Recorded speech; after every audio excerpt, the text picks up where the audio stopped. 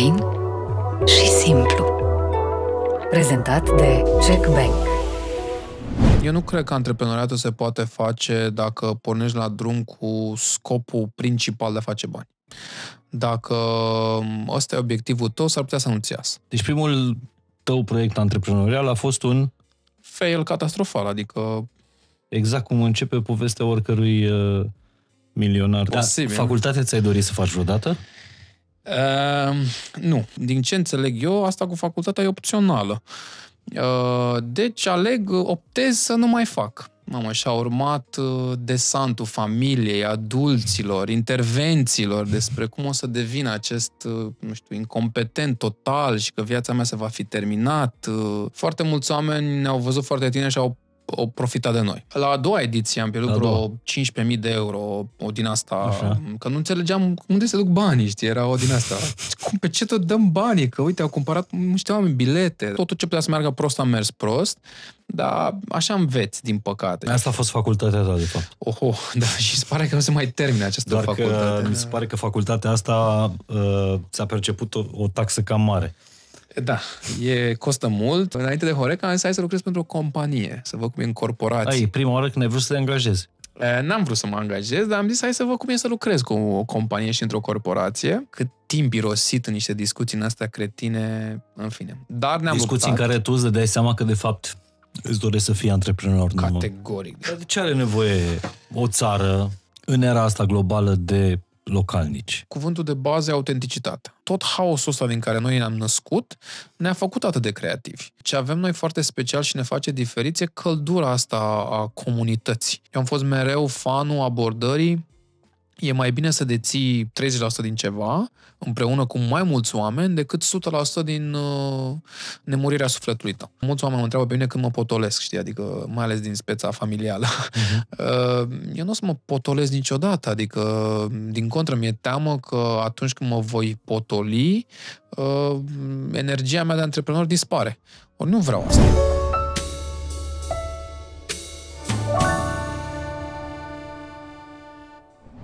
Salut, sunt Mihai Morar, bine ai venit la un nou episod fain și simplu. Astăzi vorbim despre oamenii de lângă noi, despre localnicii.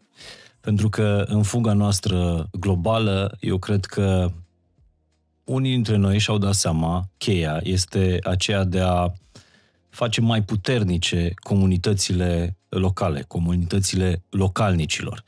Cu cât se întorc mai mulți bani din bugetul nostru la vecinii noștri. Cu atât mai mult, comunitatea noastră locală va fi mai puternică.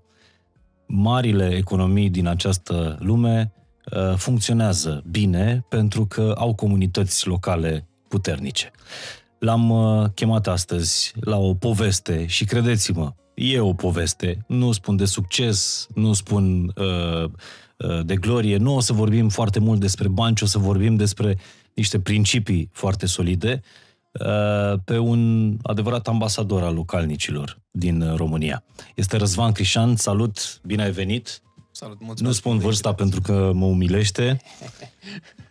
Răzvan e foarte, foarte tânăr și pe lângă faptul că este cel care a pornit proiectul ăsta, localnicii, și cutia cu localnici, care iese, din câte știu eu, de două sau trei ori pe an, de Ziua Femeii, de Paște și, și de, de Crăciun, Crăciun tradiționala cutie cu localnici de, de Crăciun.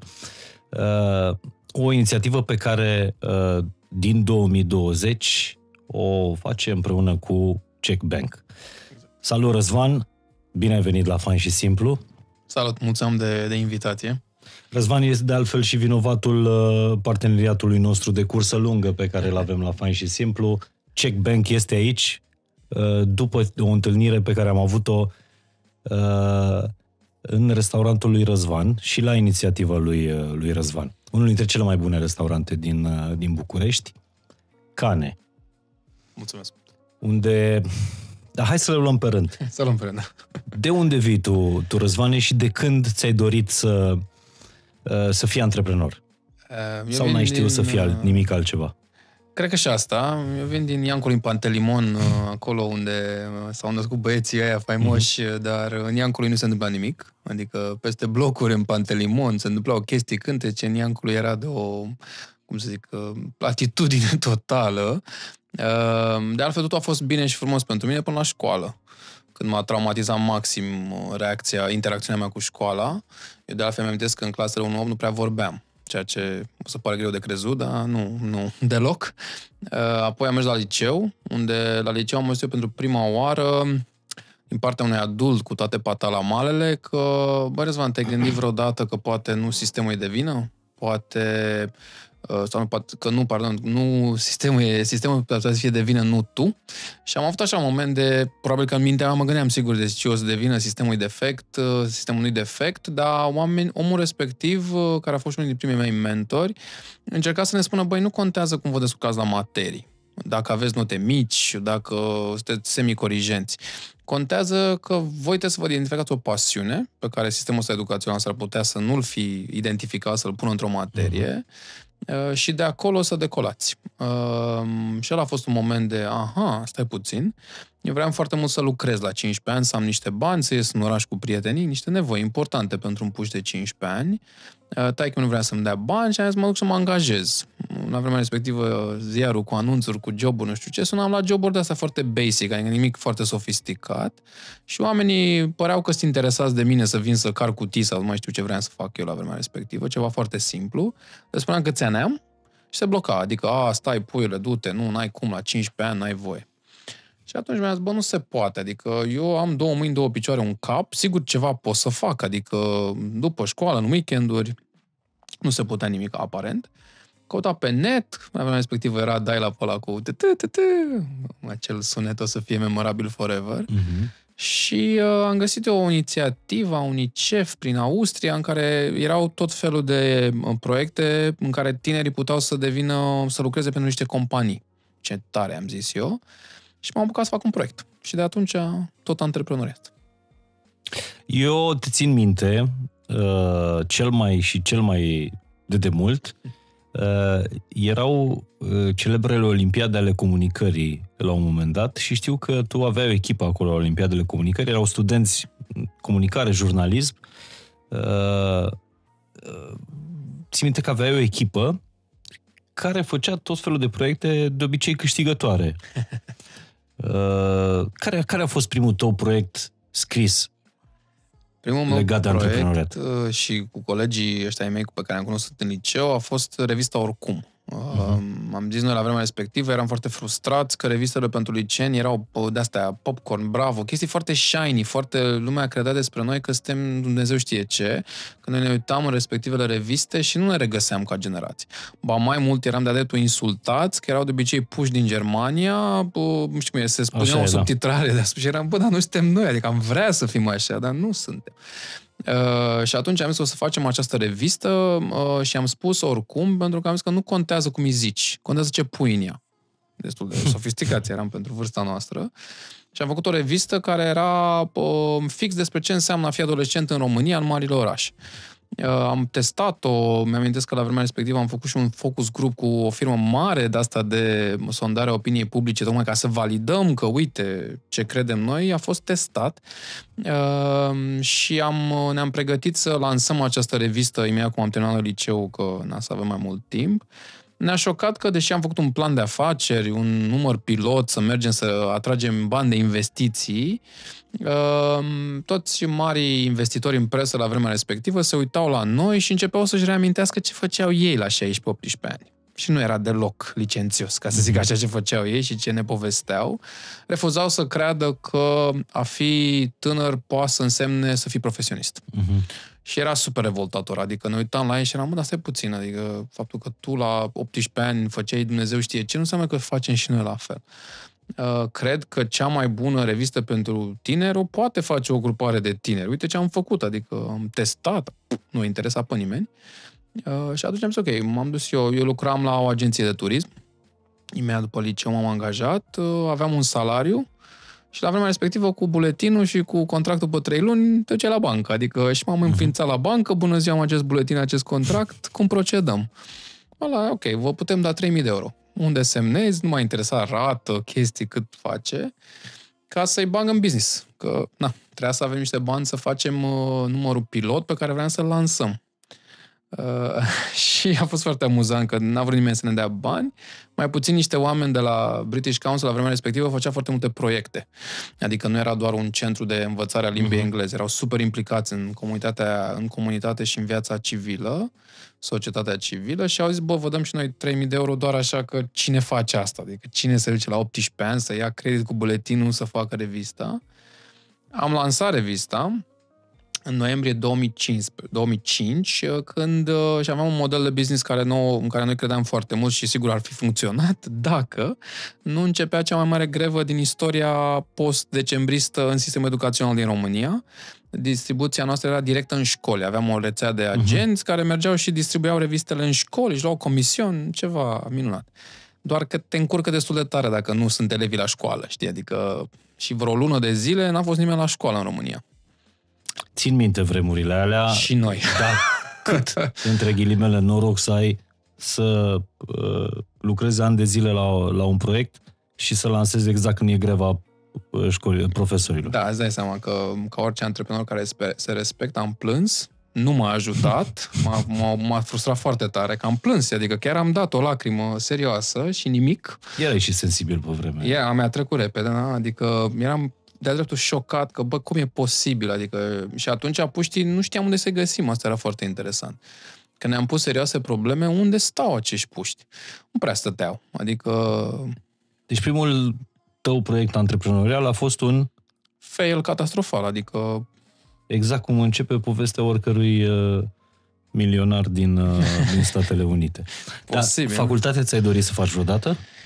Uh, nu. Adică um, mi-a fost foarte clar că după 12 ani de tortură, pentru că asta a însemnat sistemul educațional mm-hmm. pentru mine, am auzit din prima zi uh, din partea sistemului că eu sunt defect. Că e ceva greșit la mine. Uh, pentru că nu am genul ăsta de inteligență care era, cum să zic, uh, bine evaluat de sistemul educațional Uh, eu eram defect și eram problemă. Și după 12 ani, care e obligatoriu de așa ceva, am zis, bă, eu nu mai vreau. Adică, din ce înțeleg eu, asta cu facultatea e opțională.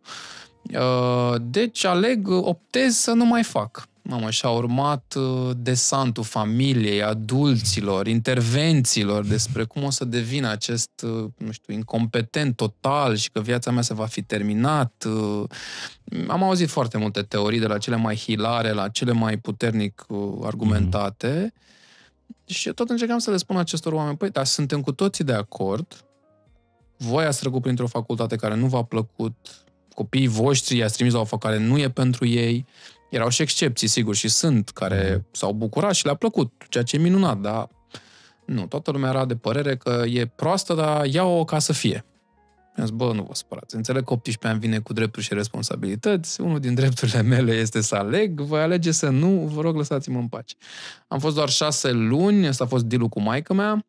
Uh, mă duc șase luni ca să văd. Să nu zic uh-huh. că n-am făcut, știi? Momentul în care am picat, uh, nu am rămas, cum se cheamă, când uh, nu trebuie, restanțier, da, la engleză, pentru că doamna profesoară vrea să dea 60% din notă pe prezență, e, ținea la noi să ne vadă mm-hmm. la față, și noi eram într-o grupă în care venise din Coșbuc, unde vorbeam destul de bine engleză, și aveam colegi care învățau să numere. În engleză. În engleză. Și noi ne uitam la colegii noștri, one, two, three, doamne... Care treceau, uh, primeau creditele? Care primeau credite, că erau prezenți, uh, n-am putut. Uh, asta dată și doi la contabilitate, când am auzit faimoasa frază pentru a o suta mea oară, standardul contabil care se prezenta studenților la vremea respectivă nu mai era de actualitate. România, cred că tocmai urma să intre în Uniunea Europeană și se schimbau să standardele mm. contabile. Eu îmi făcusem o firmă, nu aveam revista care eșuase, între timp făceam evenimente și am întrebat-o pe doamna profesoară, nu vă supărați, uitați, contabila mea râde de mine. Mă duc și arăt bețișoarele astea pe care le facem și râde de mine, efectiv. Ce, ce faceți mă acolo prostiile astea care nu mai sunt valide? De ce le facem? Doamna profesoară și-a luat uh, ținuta și a zis, vă ajută să gândiți. Ah, ok. Mamă, mi s-a spart o venă și am zis, doamnă, uitați, mai și plătesc, era la taxă. Uh, este ceea ce se cheamă feedback din partea clienților. nu mă ajută. Încetați să mai spuneți această aberație. Este o aberație cât casă. În fine, m-am luat un rand din ăsta incredibil. Săraca femeie nu era ea de vină, dar 12 ani am strâns în mine. Uh, am zis, gata, eu nu mai vin, mi-a ajuns, la revedere. Și aia a fost. Dar ce aveai în minte? Care era uh, planul tău? Bănuiesc că nu te-a, te-a făcut să plângi, dar nu te-a Nu, nu, n-am Pus la plâns, pământ asta, primul la asta eșec. n-am plâns.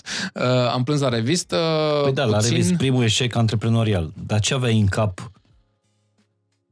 Aveam foarte clar și vedeam în reacția oamenilor care, aj- care ajungeau să citească revista. Era ceva care le plăcea. Era ceva care era mișto.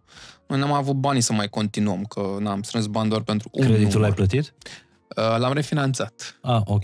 Asta e un mare lucru pe care l-am învățat ca antreprenor, că un credit nu este pentru a fi plătit, este pentru a fi refinanțat. O să vorbim și despre Uh, credite, Foarte despre startup-uri. interesantă înțelegere, dar uh, mi-a luat ceva să o înțeleg, dar, uh, dar nu l-am plătit, l-am tot uh, extins, dar uh, du- a fost cel mai trist Crăciun pentru noi, că imediat după noiembrie a urmat Crăciunul, și pe aia, prin ianuarie, ne-am dat seama, bă, nu putem să stăm așa. Adică proiectul ăsta e corect. Ce e incorrect e faptul că adulții din jurul nostru nu vor valoarea. Noi eram foarte frustrați atunci că a fi tânăr părea că era o boală. Adică spuneau oamenii, a, sunteți tineri, vă trece. Stai mă puțin, că nu facem aici rocket science. Facem o revistă pentru adolescenți, adică cum fac băieții ăștia la alții, adică dar o fac prost. Asta ne revolta pe noi, că nu mergeam să spunem că facem lucruri pentru o audiență pe care nu o înțelegem, știi? Și am zis, ok, să facem niște evenimente, să demonstrăm că puștii sunt așa cum îi vedem noi în revistă. Și am început un festival de muzică care s-a chemat Stimultan, pentru că te stimula simultan, o idioțenie, dar aprins, adică Deci voi ați, ați făcut revistă când era revistelor era cumva pe sfârșite aproximativ. și ați făcut festival când... Tocmai urmau să devină, da. În 2006 am făcut noi acest Stimultan, uh, Deci cu vreo 10 ani înainte să înceapă Antold. Clar, clar. Și uh, a fost interesant pentru că în revistă aveam noi un articol foarte mișto despre impactul iPod-ului și cum ascultau oamenii muzică. iPod-ul a revoluționat multe chestii, printre care și ideea asta de shuffle. Deodată, genurile muzicale care erau foarte clare, că scortea artistul un album de 12 piese, îți plăcea, nu-ți plăcea, îl luai acasă și l-ascultai, începea să se schimbe foarte mult. Era din ce în ce mai greu să-ți dai seama ce e rock, ce e electro, ce e. Și ne-am zis, bă, hai să facem un festival de muzică pe shuffle, ne-am gândit noi, în care la început, pentru că n-am găsit o locație, am făcut în uh, șase cluburi din zona centrului vechi. Uh, Două cluburi au avut rock, două electro, două hip-hop și tu îți luai un bilet la oricare din ele și migrai la oricare club. Mhm. Noi ne-am așteptat la vreo 500 de oameni, au fost vreo 2500 în total în seara aia și nu o să uit niciodată imaginea asta, dacă mai ții minte unde era expiratul inițial sub energia, se făcuse o coadă până aproape de McDonald's. De așa am cunoscut în jandarmeria română cu ocazia asta. Era. Cine e organizatorul? Ups! Stați că nu eu, că nu știu cine sunt oamenii, adică ne bucurăm, în fine. Uh, am fost super impresionat cu toți de impactul pe care l-a avut. Toată lumea a plătit un bilet uh, și știau la ce veneau, adică nu erau niște amețiți care au prin centrul vechi la Doar oraș. cu trupe românești. Doar cu trupe românești. Iarăși ceva foarte nebănuit la vremea respectivă. Ediția a doua a fost în vara lui 2006, în care am închiriat etajul 5, 6 și 7 al parcării de la Unirii și am pus câte o scenă pe fiecare etaj. Aha. Că am zis hai să oferim și simultan uh, povestea, nu doar în același timp, dar și în același loc. Am aflat noi cu ocazia asta că o parcare e bine izolată și nu vibrează, că Mhm. ține la mașini, deci nu o să fie probleme cu izolația între etaje. A fost genial, tot a mers prost, totul, totul, adică sunetul s-a auzit de căcat, uh, muzica, uh, cum se zic, artiștii n-au întârziat, n-aveam curent, tot a fost Măcar Oribil. oamenii au venit. 4.000 de oameni au venit Wow. wow. în ziua aia la parcarea de la Unirii. Mai bine nu veneau. Mai bine, mai, ar fi fost bine să nu vină. Pă, mă uitam de sus și vedeam o puzderie de oameni acolo. A fost wow. Ne-au înjurat, bineînțeles, că nu mergeau lucrurile cum trebuie, dar nu foarte mulți. Adică mă așteptam să fie mult mai rău. Uh-huh. Dacă mai ții tu minte, a fost acest site care se chema Metropotam, care era foarte activ la vremea respectivă și au făcut ei un articol cu noi după în care să cumva jurnaliștii încercau să zică, băi, ăștia au reușit să facă o chestie la 20 de ani pe care mari somități ale organizării de evenimente nu le-au făcut. Să aduci 4.000 de oameni care au plătit un bilet pentru artiști români care erau, nu erau cei mai cunoscuți, adică Mhm. uh, era ceva care nu se mai întâmplase până atunci. Urmăriți povestea pentru că o să înțelegeți cum a ajuns uh, Răzvan de la revistă la, uh, la Horeca și apoi la dezvolta uh, proiectul Localnicii. Încă erai în zona de, de 20, 20 de ani, nici 20 măcar de 20 și, și ceva. Și festivalul ăsta cât l-ați ținut? Am ținut până în 2006, că a urmat apoi să facem ediția internațională. Am zis, băi, e clar că a avut potențial. Ne-am trecut puțin depresia Mhm. după ce a ieșuat și ăsta din toate punctele de vedere.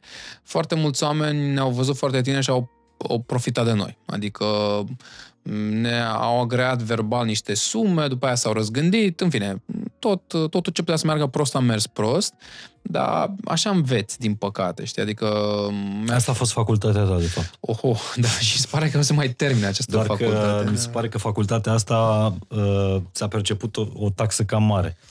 Da, e, costă mult, dar așa să testezi, cred, anduranța și eu cred că antreprenoriatul este, de fapt, o introspecție foarte profundă. Adică antreprenoriatul la finalul zilei este despre a-ți răspunde la întrebarea cine ești tu și la ce poți tu să duci sau ce poți tu să duci. Foarte mulți oameni când e bine, când merge așa de frumos, vrea tot lumea să facă parte din poveste, să împărtășească succesul. Când merge prost, lumea tinde să-și amintească un singur nume. Asta mi s-a părut întotdeauna fascinant la antreprenoriat, că când e de bine, suntem cu toții împreună, când e de rău, cum se cheamă administratorul? Dar de asta spun că e o presiune atât de mare de multe ori, încât dacă nu ai un anume tip de claritate și de liniște interioară, e foarte greu să, să duci presiunea asta. Și câți bani ați pierdut la, al treia, la a treia ediție? La a doua ediție am pierdut vreo 15.000 de euro, o din asta, Așa. că nu înțelegeam unde se duc banii, știi, era o din asta. Cum, pe ce tot dăm banii? Că uite, au cumpărat niște oameni bilete, dar ne-am dat seama după aia pe ce s-au dus banii. Pe ce? Păi, proprietarii parcării au zis o sumă, după aia s-au gândit să o mărească de trei ori în ziua evenimentului, altfel nu intrăm în spațiu. A trebuit să cumpărăm generatoare, că am aflat cu ocazia aia că, știi, instalațiile de draft, de bere, uh-huh. atunci am aflat noi că trebuie curent la ele. Deci, cumpără generatoare, suiele până la etajul 5, 6, 7, a fost ceva, toaletele, care, iarăși proprietarii parcării ne-au închis toaletele de pe etaje, că au zis că vin copiii ăștia nebuni să le strice lor toaletele. Uh-huh. Încheiază toaletele, pune-le așa, a fost ceva, tot ce a putut să meargă prost a mers. Dar iată-ne aici, supraviețuind. Până acum mi-ai povestit doar cum ai pierdut, cât ai pierdut și cum ai, cum ai eșuat. Păi dacă scopul era să zic succesul, ne vedem peste 10 ani. Exact. Oamenilor le și place Sau să, de să, să audă povești, că nu doar ei au, au pierdut. Așa că stați liniștiți, pregătiți-vă pentru... Vrei, vrei să fii antreprenor? Pregătește-te pentru câteva eșecuri și nu sunt toate eșecurile din uh, cariera lui, uh, lui Răzvan. Și cum ați continuat? Noi am continuat după asta, pe, tot pe muzică am vrut să facem. Am făcut noi o minunată um, selecție internațională, am zis. Un poll din ăsta în care am invitat pe oameni să voteze online ce formație ar vrea să vină în 2007, când deja România intra în Europeană și formațiile nu mai erau speriate de a veni în România, anunțase de peș șmot că vine, deci gata, e safe. Uh, și deodată foarte mulți artiști internaționali erau willing să vină în România. Și ne-am împrietenit noi cu un bucăr de evenimente din astea internaționale, cu bucăr de uh, trupe internaționale și am făcut o, uh, o listă cu vreo, mai știu, cred că erau 15 artiști pe fiecare tip muzical, uh, cu care, uh, pe care i-am invitat pe oameni să voteze cine ați vrea voi să vină cel mai mult în România. Iarăși nu știu cum și în ce fel s-a viralizat la vremea respectivă acest uh, chestionar, dar cert e că au votat vreo 12.000 de oameni unici, ceea ce iarăși pentru România 2006 enorm. era enorm, fără niciun fel de buget de niciun fel. Uh, pe Messenger, pe vremea aia oamenii își dau pe Messenger chestii, pe Yahoo Messenger, adică Uh, și am zis, băi, uite ce, ce de asta minunată avem, adică un case study de 12.000 de oameni care și-au lăsat mail-urile, must be good, știi? Și am tot încercat să facem rost de bani de la branduri. Am zis că la un brand eram atât de frustrat că nu răspundeau la niciun mail, la nimica. Am făcut un panou din ăsta foarte mare uh, și l-am trimis la ei. Pe modelul, știi cum e, când vezi în asta de pe YouTube o Răspundeți-ne și nouă la Răspundeți mail și nouă. S-au distrat, ne-au răspuns ce drept, dar au zis că nu interesează, dar măcar ne-au răspuns. A fost, da, atât de rău m-a frustrat. Uh, n-a mers, dar și noi am vrut să facem acest festival în 2007, acolo, pe lacul Mori, unde da. în același an s-a întâmplat un alt festival, din păcate pentru noi. Uh, noi nu aveam know-how și contactele să convingem brandurile să fie alături de noi. Nu aveam. Uh, și au fost alți oameni care au avut ideea noastră de a face pe lacul Mori. Au zis, ce idee bună ia să facem noi aici. Uh, Best Fest, cumva? Nu, nu, nu, nu Best Fest. A fost un, o singură ediție care a ieșuat pentru că noi știam că o să fie complicat, deci trebuia făcut într-un anume fel mm. accesul. Ei au zis, ce știu copiii ăștia să facă, las că le arătăm noi. A fost, uh, cred că s-a chemat Rock and uh, Coke, dacă mm-hmm. nu mă înșel. O ediție a fost și a s-a terminat, pentru că dacă nu erai atent la cum să faci accesul, urma să devină rău și a mhm. devenit uh-huh. rău. Că era mai costisitor să faci cum da. vreau noi. Din păcate, aia a fost uh, și am zis, gata, nu mai vreau cu muzică, dacă aici trebuie să convingi tot felul de branduri să te susține și ele nu vor, prefer să mă las, uh, văd de viața mea altfel. Colegii mei de la oricum, noi încă în mintea noastră strângeam bani să facem revista, noi tot pierdeam, eram, bă, asta cu banii nu prea ne iese, adică hai dracu să ne potolim. Uh, cred că am început să facem la vremea respectivă evenimente educaționale. Am zis, ok, hai să virăm către ceva care iarăși era un subiect în revistă și poate ne pricepem mai bine. Uh, și am făcut niște chestii foarte mișto, printre care și a fost un prim incubator de business la Politehnică.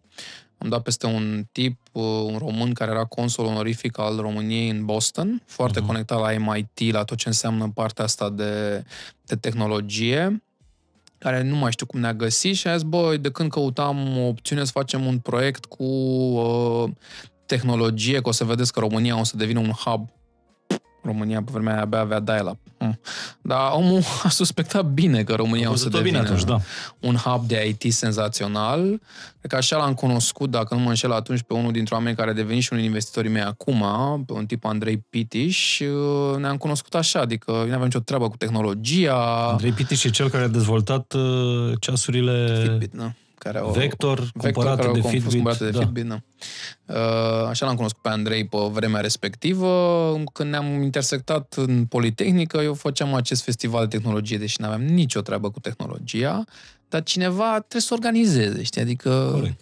Și cu asta m-am ocupat. Și de atunci am tot făcut evenimente, am renunțat între timp la ideea de a strânge bani pentru revistă, că era clar că deja deveneam noi și, bătrâni. Și cum a început drumul ăsta în, în Horeca? A venit cumva natural, din evenimente în în Horeca, pentru cine nu știe, Răzvan e proprietarul mai multor uh, restaurante, Cane, M60, M60 Mamița. cafea de specialitate, Mamița, uh, Mercato Comunale. Mercato Comunale. mai avem câteva. Și Dar, mai sunt câteva. Um, și e mereu într-o treabă, într-un șantier, în... exact, exact. mai deschide ceva. La noi a fost foarte interesant pentru că după ce am, am după povestea asta cu muzica și cu tehnologia, cred că prin 2008 a fost, dacă era exact momentul magic al crizei financiare, Uh, un amic a venit la mine cu un prieten de-al lui, cu ochii foarte, așa, nu o să niciodată ochii lui Mugur, cu am o idee cu niște scurmetraje. Și ne uitam la Mugur, mă, ce cu scurmetrajele? A descoperit el un concept, descoperit el un concept din UK, uh, Future Short se chema, în care niște băieți puneau niște filme cu muzică. Scurmetraje și după aia muzică. Uh-huh ne uitam la filmele astea, erau interesante, dar erau scurmetraje, adică lumea n-a avut niciodată o opinie bună despre scurmetraj.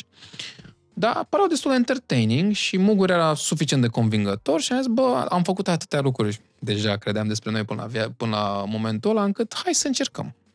O să testăm să vedem dacă România ar cumpăra așa ceva, în sensul de a veni să dea bani la niște evenimente de scurmetraje uh, curatoriate de niște băieți din Londra. Uh, și am făcut un eveniment, mi-am zis că era o zi de joi, cred că prin noiembrie, ploua, 2007 era chiar, nu 2008, uh, ceva oribil vremea afară și știi că românii cum picură puțin, gata, se închid în nu casă, nu mai iese nimeni. Era și, uh, a fost la fabrica care e încă în spate acolo pe 11 iunie și vin vreo 120 de oameni. Toți plătitori de bilet. Făceam mișto cu amicii mei, a fost o slujbă târzie, poate nu au avut ce să fac, au venit până aici, cine știe. Mai facem unul de test. Am făcut unul 180 de oameni care Opa. au plătit bilet. Tot joi, n-a mai plouat, bă, lungă slujbă, ce să zic, am mai ținut. N-am crezut, nici, nimeni n-a crezut că e... Mai facem încă un test. Am mai făcut un test, 250 de oameni. Măi, da, mă, da, e ceva aici și se simțeau super, adică se vedea că oamenii râdeau cu poftă, uh-huh. stăteau la muzică, ca să înțelegi, băieții ăștia la Future Shores care făceau nu știu câte zeci de orașe în jurul lumii, cel mai mare happening al lor a adunat 200 de oameni.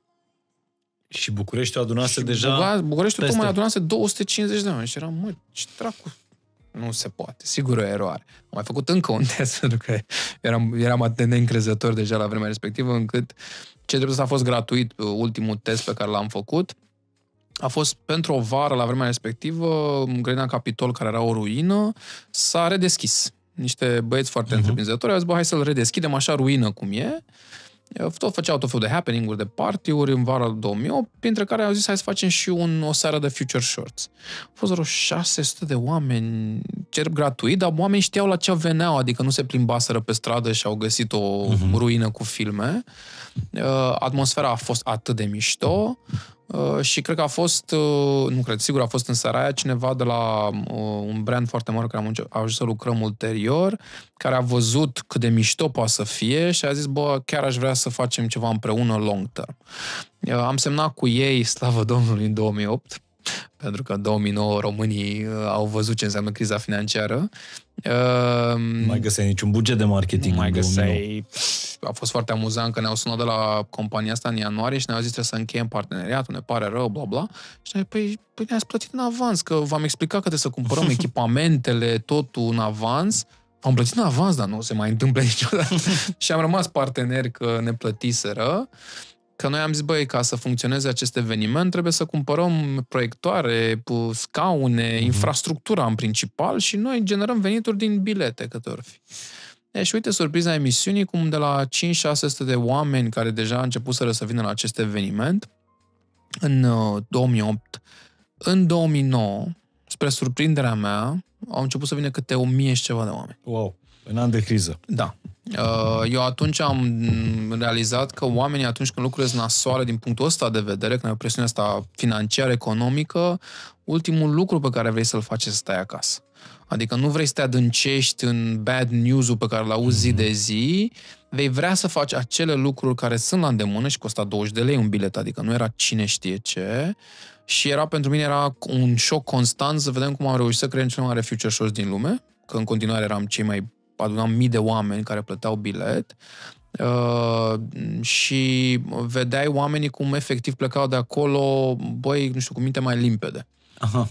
Uh, cumva cred că acolo mi-am dat seama că ospitalitatea îmi place foarte mult, că ideea asta de a oferi uh, satisfacție instantă unor oameni uh, e ceva din care vreau să fac parte. Și cum să faci asta mai bine decât prin o cafeluță, printr-o mâncărică bună. Uh, ulterior mi-am dat seama că în paralel cu povestea asta, cu scurtmetrajele, care a fost, dacă vrei, un, un motiv pentru care mi-a plăcut acest proiect, era că demonstra uh, o chestie la care eu lucram și era subiectul meu la vremea respectivă principal.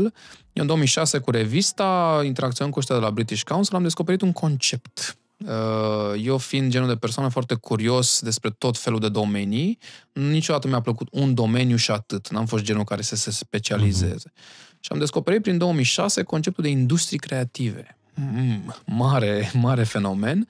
Mie mi-a plăcut pentru că presupunea să poți să faci și niște design, și niște arhitectură, și niște artă, cât mai multe chestii, să le legi prin valoarea economică pe care aceste lucruri le aduc ăștia în UK, în Marea Britanie, făceau chestii super avansate pe acest fenomen și am descoperit că în România nimeni nu făcea nimic pe acest subiect. Și noi niște puși de 20 ceva de ani, deja transformasem revista în asociație, că am zis că poate că dacă întinde mâna, știi cum e, orice mână întinsă, dacă nu are o poveste, ai poate reuși mai bine, mai bine așa. Am făcut și o chestie care s-a chemat Youth Summit, în care a, a, n-a venit domnul președinte la vremea respectivă, dar măcar ne-a scris un mesaj de ăsta de tinerii României sunt viitorul. Um, acest Youth Summit a fost despre a arăta că a fi tânăr nu este o boală, cum spuneam, ci e ceva, avem și noi problemele noastre relevante pentru noi la vârsta aia. Și foarte mulți oameni au menționat că, băi, vor o carieră în industrii mai diferite de ce se credea, adică nu trebuie să ne facem toți doctori, avocați și așa. Uh, și ne-a înfiripat nouă în cap această idee, băi, să facem, uh, să ne concentrăm pe industrii creative să vedem cum facem în România, să arătăm că aceste industrii uh, care credem că vor deveni super importante, IT, uh, design, artă și așa mai departe, au o valoare economică profundă pentru acest acest ecosistem din care facem și noi parte.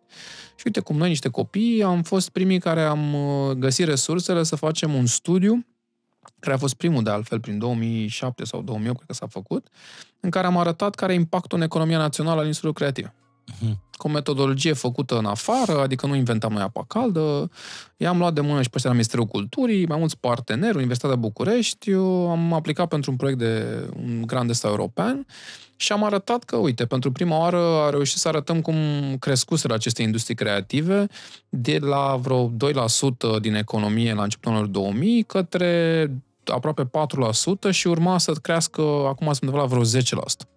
Uh, și îți dai seama că a fost foarte fain să, acum, a fost foarte fain să vedem că am contribuit foarte mult la povestea asta, dar la vremea respectivă era genul de chestie în care noi spuneam că, băi, e un domeniu și lumea se uita la noi, mm, vedem noi. Spre despre de evenimente sau ospitalitate unde îi primești satisfacție instantanee a muncii tale, mm-hmm. acolo a durat vreo șapte ani. Asta zic. Acolo n-a fost instant gratification, a fost... Deloc. Late, late. Uh, very late. very late gratification. Uh, și cum ai intrat în Horeca? În Horeca am intrat după ce, cu scurmetrajele, noi ne-am uh, despărțit de la Future Show și am creat propriul nostru brand care s-a chemat Shorts Up. Uh, evenimentele au devenit și mai mari. De asta am auzit. Reușisem să atragem până la 4.000 de oameni la evenimente, toți plătit, plătind un bilet. Și toți, dacă se chinuiau, puteau să găsească filmele undeva. Că noi nu arătam filme exclusive. Le găseai pe YouTube dacă te forțai. Era un fel de noapte devoratorilor de publicitate pe scurtmetraje. Era ceva de genul ăsta. Foarte mulți oameni din industria filmului erau șocați să vadă cum naiba reușit să aduceți oameni la așa ceva. Și am zis, bă, dacă le curatuiesc ca lumea și dacă creezi un ambalaj ca lumea pentru conținutul ăsta, iată că poți, adică da, obosisem, pentru că un eveniment presupunea să te agiți super mult, multe luni, pentru o seară și cel mai obositor era că după ce mai mergea acasă, liniște, tu trebuia să stai acolo să demontezi să strângi. Și era frustrant să vezi cum dacă ploua puțin se ducea naibii tot sau dacă apărea o mică problemă în organizare, trebuia să te chinui foarte mult să o rezolvi și deja devenise obositor. Și am zis că vreau ceva mai liniștit. ceva mai, mai simplu. Să vedeți cât de liniștit. Cum a dat peste liniștit. Exact. și uh, înainte de Horeca am zis hai să lucrez pentru o companie, să văd cum e în corporație. Ai, prima oară când ai vrut să te angajezi. Uh, n-am vrut să mă angajez, dar am zis hai să văd cum e să lucrez cu o companie și într-o corporație. Și am, uh, am ajuns să lucrez într-un proiect care, într-adevăr, era foarte diferit. S-a făcut prima rețea de telefonie mobilă pentru adolescenți și am fost unul dintre cei cinci crai de la estul Bucureștiului, ai ales să facem parte din această echipă. Și a fost foarte amuzant că CEO de la vremea respectivă ne-a pus să facem testele astea, ca să faci niște teste de personalitate când te angajezi, să vadă dacă te potrivești cu pătratul care este cultura companiei. Noi ăștia cinci eram toți în afara pătratului. și a venit de la ăștia care au făcut testul cu noi, ferm nu. Adică nu-i luați pe ăștia că nu ce trebuie pentru ce facem noi aici. CEO a zis, ba, ba, nu. Fix de asta îi vreau pe toți cinci. În fine, și asta mai niște riscuri omul. Uh, și am dezvoltat ceea ce a devenit o chestie foarte faină. Uh, un uh, primul de, asta, de, de operator de telefonie mobilă special creat de la zero uh-huh. pentru puști. Uh, noi am fost printre primii care am făcut chestii cu influenceri. Că mi-amintesc discuțiile. Dar cum se numea? Indigen. Indigen. Ah, da, da, da. Da, acum țin minte. Da, da, cu roboțelul, uh-huh. cu Am făcut foarte multe chestii foarte mișto cu amicii pe care i-am cunoscut atunci când am lucrat.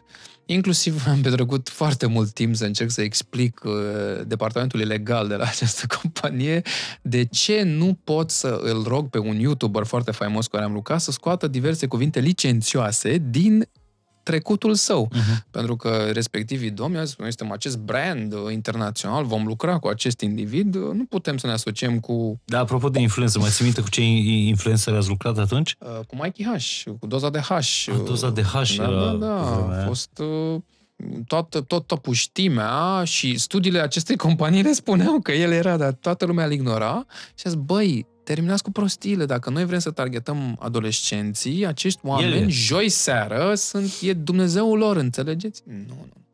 Trebuie să scoată toate cuvintele urâte. Și am zis, păi, practic, îl închideți. Adică, și pentru ce ați nebunit? În fine, a fost o întreagă discuție despre să încerc să-i conving că așa vorbește lumea. Nu știu pe ce planetă trăiți mm-hmm. voi, dar nu e nimic neregulă acolo.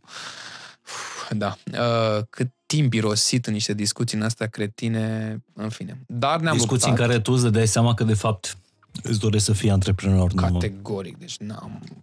Aia mea a fost mulțumesc și ăsta era un proiect, cum să zic, numai muncă la corporație nu era. Era probabil cel mai mișto mod de a lucra cu o corporație. Și nu mi-a plăcut. Uh, pentru că vedeam că timp se irosea în lucruri inutile în politică de asta ieftină, în care, băi, nu suntem aici să atingem niște rezultate, să ne asumăm niște riscuri. Păi... Deci, tu ești de părere că decât să te lupți cu un șef de la privat, mai bine te lupți cu un întreg sistem la stat? Acum, dacă asta că e de fapt opțiunea... asta face antreprenorul, nu? Da, eu cred că antreprenorul, de fapt, ce face, sau o formă mai, mai faină de a descrie, este că, iarăși, să, să o duc în zona de liceu, ține spatele. Știi? Adică în liceu tu trebuie să ai niște unii care te protejează, așa, ca să fii tu cool în liceu. Cam asta e rolul antreprenorului. Dacă tu ești cu atenție, antreprenorul nu prea se pricepe la nimic.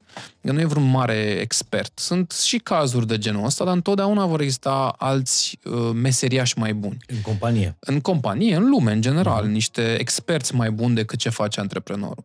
Antreprenorul cred că e acolo să uh, îi ajute pe oamenii din jur să facă saltul ăla. Adică, hai, că te țin de mână, sărim dracu împreună. Nu știm ce ni se va întâmpla. Nimeni niciodată nu va putea să știe ce se întâmplă mâine. Are așa o idee, dar nu are o certitudine.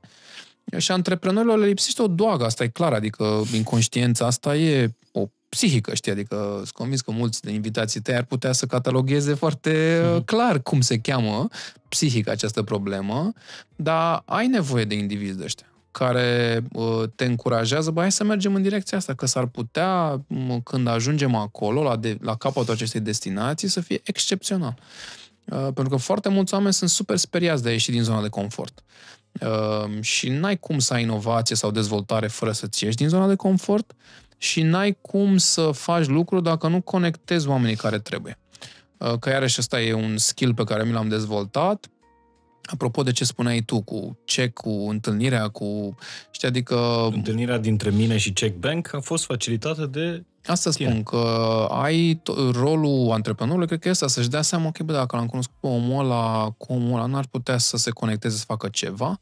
Uh, și cu cât ești mai uh, nestructurat în gândire, cu atât mi se pare că reușești să vezi conexiunile astea, că mulți oameni zic mie, mă, cum ai văzut chestia aia? mi se pare că fac ceva special, știi? Adică, uh-huh. dar faptul că nu am avut structura de gândire pe care o are majoritatea, mi-a permis ca ceea ce, cum văd eu lumea să fie mai special. Deci tu zici că antreprenorul mai degrabă e un fel de nebunul statului decât... Uh... Clar. E omul care, ți-am zis, cred că are curajul să se arunce înainte. Uh-huh. E genul de individ care locuiește în viitor și vede ce frumos e în viitor uh-huh. și lumea din jur se uită la el, doamne, săracu, dați-mă și lui o pâine, că trăiește, e dus cu pluta. Uh, nu sunt foarte preocupați de trecut, dar adică ziua de mâine gata s-a încheiat, mulțumesc, interesant ce s-a întâmplat, dar hm, nu o să stau să romantizez prea mult asupra trecutului.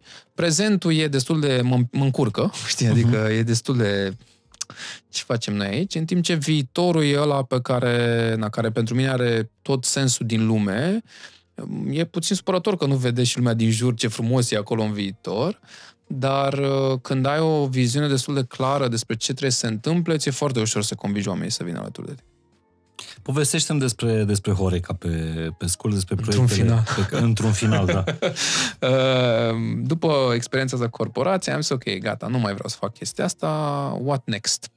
Și uh, partenerul care am început uh, povestea, uh, David e francez, a locuit în România destul de mult. El locuia la vremea respectivă în 2013, când am luat decizia în Helsinki. Pe vreo 20 de ani de a lucra pentru statul francez, a decis el într-un final că e prea mult. Dacă vrei să vezi, uh, cum zic, culmea birocrației, ce România, Du-te ce în Franța. corporații du-te și lucrează cu statul francez, ei au dus-o la rang de artă. Și a dat seama și el că gata, nu mai vrea cu statul uh, și a zis hai să facem o cafenea în București. Ca mulți expați, București a fost oribil pentru el în primele săptămâni, oribil, dar după primele săptămâni a început să devină interesant. I-a plăcut ce a văzut. Și a zis, bă, hai să facem o cafenea, cât de greu să fie să facem o cafenea în București. Uh, Recunosc că eu am fost destul de reticent, am zis, bă, cafenea, mm, nu știu ce să zic, e putem să facem lucruri mai, uh, nu știu, mai simple, gen să mergem până pe Marte, să, știi, adică să inventăm o mașină electrică, știi, adică, nu, hai să facem. Bine. Ne-am apucat să găsim locații, ne-a luat un an. Uh, business planul a fost, deja la vremea respectivă nu mai credeam foarte mult în business planuri. Uh, credeam că trebuie să pui niște idei pe hârtie și niște concepte și cam atât. Ne-a luat un an să găsim o locație. Uh, Locul unde a fost, uh, unde este M60 inițial, uh, nu, nu ne-am înțeles cu proprietarul la chirie și la suprafață. El ținea foarte mult la clădirea lui și chiar a făcut o treabă foarte bună la a o reconstrui. Mhm. Nu mi se părea foarte scump. În fine, ne-am tot uitat în alte locuri, el nu a găsit un, pro- un chiriaș și am zis, ok, uite, noi avem banii ăștia, Uh, tu ai spațiul ăsta, uh, hai să facem noi ceva împreună, că, ok, bine, hai. Uh, business planul a fost să avem atâția bani, uh, ei vom investi până rămânem fără ei și după aia gata, that's it. Uh, și avem un an la dispoziție să ne demonstrăm nouă dacă industria asta e pentru noi. Și exact așa a început. Uh, inițial noi vreau să facem cu totul alt concept acolo. M60 era de fapt o cafenea în care plăteai pe oră. Mare inovație, slavă Domnului că ne-a trecut. Da, Mi se Uh, pare că este în București o astfel de cafea. I- Tocmai se deschise una și vedeam acolo cum erau oameni care puteau să fie oriunde. Oriunde puteau să fie oamenii, erau acolo că era ieftin. Plăteai pe oră. Și puteai să consumi câtă cafea Ce vrei tu, vrei. da? Cafea, biscuiței pe acolo. Vedeam cum și era normal că interesul oamenilor care operau era să dea chestii cât mai ieftine. Și a fost așa, un moment de... Eram, Doamne ajută, nu știu ce eram eu foarte încrezător că o să ne ajute Dumnezeu. Uh, David a zis, nu, renunțăm la concept. Îmi amintesc că m-am certat cu el foarte tare, ce probleme aveam și eu, că făcusem deja brandul și îl îngravasem în mese. Mhm. Asta era problema mea, știi? Adică, dă-o dracu de business, nu contează, dar am îngravat în mese logo. Uh, Ah, și M60 venea de tocmai de minutul la... 60. Era un Minutul concept 60. perfect și era ca un ceas, de, de la asta venea. Deci eram, am gândit, ce o să le zicem oamenilor? Par n-aveam că de la asta vine E M60. ok, foarte bine. Brandingul nostru a funcționat. Uh, rebrandingul imaginar și uh, ca să ne iasă nou brand, gândit cu două săptămâni înainte să deschidem, am inventat noi o poveste cu M60, vine de la aparatul foto Leica M Edition Model 60. Cam asta era expresia tuturor. Eram gândit, bă, dar cam Ok. complicată explicația. Da, las Dă și mie o cafea. Da, ok, da, dă da. și mie o cafea. Vreun an jumătate am făcut expoziții cu fotografii, în speranța că o să ne creadă lumea că de la asta vine, știi? Uh, Lumea a fost simpatică, ne-a crezut, părea f- dificilă explicația noastră, știi? Adică părea forțată, da? Mhm. Așa sunt artiștii, au concepte. Taximetriștii credeau că e Mendeleev 60, că e pe strada e așa, pă, oamenii credeau că aveau, și-au făcut la povești despre, mă, știi că există V60 ca mă, mod de a face cafea, Cafea. cafea. ăștia din specialty creau că e un mod diferit de a face cafeaua și ne-a lăsat pe oameni să creadă ce vor ei, atâta timp când nu se gândesc că e minutul 60, we're happy. Uh, am deschis, iarăși ni s-a prezis, aici am, am început să mi se amintească de școală, cum o să eșuăm, cum cărciumeria toată lumea te fură, autoritățile te distrug, uh, furnizorii te fură, deci nu mai nimic de bine. Uh, Băi, și am deschis și reacția a fost spectaculoasă, adică oaspeții au venit în prima zi acolo și le plăcea super mult ce făceam. Nou concept inventat cu două săptămâni înainte era despre produse locale. Mhm. Numai că, bun, un concept, uh, proastă execuție, că gândește că la vremea respectivă exista do- existau doar două branduri de bere artizanală. Una la Timișoara, care nu ne răspundea la telefon să livreze, și Zăganu, Da, celebrul Zăganu. care săracii băieți tocmai făcuseră blondă și brună la sticlă și cu distribuția era mai greu, veneau ei personal, dar nu veneau tot timpul, Mhm. uh-huh. ceea ce nu era foarte așa, dar s-au reglat foarte repede, slavă Domnului. Uh, Deci eram, avem, ok, o bere, bun, uh, Pamplezi tocmai se lansase, avem un croissant, bun, uh, ce dracu mai avem? Adică cafea de specialitate la fel tocmai apăruse ca fenomen, adică uh-huh. pe noi ne-a inspirat foarte mult Origo, Steam tocmai se deschisese în uh, zona asta romană și noi. Mm. Adică discuțiile alea cu ce acritura asta, p- dăm zahăr, așa, te uitai și îți murea sufletul de barista când vedeai că așa. Adică nu ne așteptam să aibă impactul pe care l-a avut. Dar M60 a fost un fenomen după, după deschidere, Da, și pe noi ne-a adică bucurat. anul ăla de grație pe care voi vi l-ați uh, dat, bănuiesc că v-ați liniștit mult mai repede, adică la câteva luni după deschidere v-ați dat seama că A- ați lovit-o, cum se A spune. fost o lecție dureroasă pentru că plăcută și dureroasă în același timp. Uh, Plăcută pentru că în primele trei luni toată lumea a vrut să fie acolo. După care lumea a dispărut, s-a dus la următorul loc nou din oraș. Uh, și așa am descoperit eu că un, un restaurant, cafenea, loc, îi ia cam un an de zile să-și găsească audiența ideală pentru care e făcut locul uh-huh. și pentru care locul e făcut. Uh, dar trebuie să ai trebuie să te țină instalația, să ai răbdare, știi? Adică, mai ales când vezi entuziasmul ăla de la început, când lumea te dă atenție și vrea să fie acolo și e full și e coadă și pe aia nu-i nimeni. Și ți se pare că vor veni în fiecare zi din tot Exact, restul vieții tale. exact, Și că exact. vei ieși din, la pensie de acolo. Da, așa este. E dureros, e obositor, e uh, straniu, încep să spui întrebări astea, ce am făcut, ce am greșit, bă, dar produsul e bun, adică... Cred că secretul, în general, este să rămâi consecvent. Adică noi, la vremea respectivă, avem două opțiuni. Să fie mai prost, uh, să facem promoții, să fie mai ieftin, uh, sau ceea ce am ales să facem să fie mai bun. Uh, și ne-a ajutat această chestiune pentru că am această teorie, într-o, pe o stradă cu 10 restaurante, cafenele, toată lumea poate să scadă prețul. Toată lumea. Dacă tu faci efortul să creezi ceva special, să creezi ceva mai mișto decât ce are cel de lângă tine și nu pentru că el a lângă tine, ci pentru că tu ai audiență. De exemplu, noi M60 l-am construit pentru uh, profesioniști din industrie creative. Uh-huh. De asta atenția la design, de asta atenția la cum arată spațiu, de asta uh, ne certam cu diversi producători de vin, că producători de vin locali erau, că alegeam vinuri pentru etichetă. Uh-huh. Produsul era foarte important, dar am zis, bă, uitați-vă în jurul vostru. Cât timp am dedicat noi să facem spațiul ăsta așa. Nu vreau să veniți cu o etichetă care sunt, nu știu ce, Dumnezeu de motive de astea tradiționale. Ne vrem să avem produse, uite ce frumos arată zăganul. S-au chinuit, au făcut uh-huh. un design. Voi de ce nu vă chinuiți? Au urmat niște discuții foarte... Și așa cumva o să, o să ne întoarcem să vedem cum te-ai îndrăgostit iremediabil de, de Horeca sau a fost mai, de, mai degrabă o relație de asta de codependență. Nu poți să te lași, te ține prizonier. Uh, dar așa ai descoperit dragostea asta pentru, pentru localnici și un lucru pe care, pentru care, pe care l-ai transformat în misiune.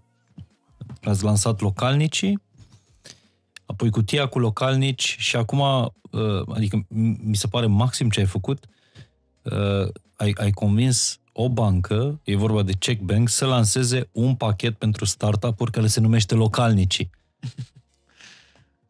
Wow! Da, în, în general, ce am învățat din a lucra cu brandurile este că dacă nu devine important și pentru ei, e foarte greu să-i ajut să fie alături de tine pe termen lung. Uh, și asta a fost discuția noastră cu ce când i-am cunoscut în 2020, în uh, cea mai neagră perioadă a pandemiei. Iartă-mă, Check Bank. Check Bank, uh, că mi-am zis, băi, uite, dacă voi vreți să fiți alături de noi, hai să gândim ceva long term, că vă aștept și pe voi, ne aștept și pe noi, toată lumea se poate concentra. Uh, și au fost foarte deschiși să facă chestiunea asta, uh, să gândim inclusiv un produs bancar. Uh-huh.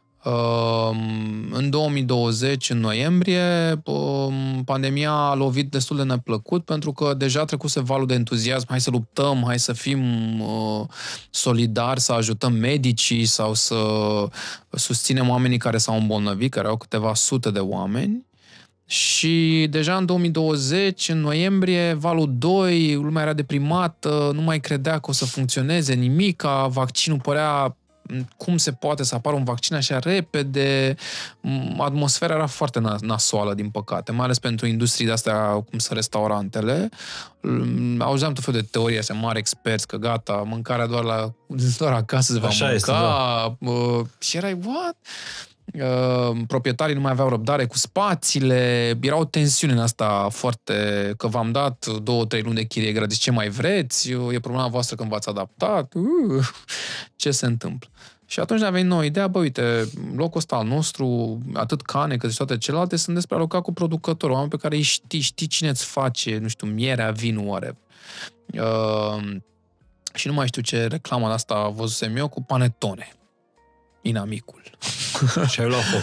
Da, n-am luat foc. Era, m-am, mi-am pus întrebarea, de, de ce dăm noi cadouri panetone? Și am uitat eu, paneți, cadouri de Crăciun, panetone, panetone. Deci dacă vii peste o lună de zile aici în, în birou ăsta, Îmi pot s-ar imagina. putea să nu putem filma uh, podcastul din cauza stocurilor de panetone. Adică toți trimit panetone în continuare. Exact. Noroc asta, că există cutia cu localnici. Exact. Asta mi s-a părut și am, bă, cum e posibil să... De unde a apărut acest fenomen în viața noastră? Adică n-am explicație pentru Pentru că sine. de la preț, fiind foarte, foarte ieftin. Eu cred că și de la, pă, cum să zic, avem această, din păcate, plăcere pentru tot ce e făcut în afară e mai bun. Ni se pare că e mai wow, mai de, de făcut cadou, știi? Adică nu faci cadou un cozonac. Vrei că vrei să-l impresionezi pe Mihai, trimiți un panetone, nu, ceva de afară. Cred că de, a, de despre asta are de a face, de fapt, toată povestea. Și ne-am zis, ok, bun, principiile noastre, design de bună calitate, hai să vă, ne asigurăm că ăla care face dulceața, vinul, e cineva pe care îl știm, deci punem obrazul cum trebuie și să profităm de contextul ăsta trist în care mâna întinsă care spune povestea, ajutați-ne, vă rog, că murim de foame. Deci aceste trei lucruri combinate le-am uh, făcut în primul an. Cu scopul de a face, ți-am zis, pentru noi, inițial când a venit ideea, uh, am zis că facem iarna asta și pe om vedea.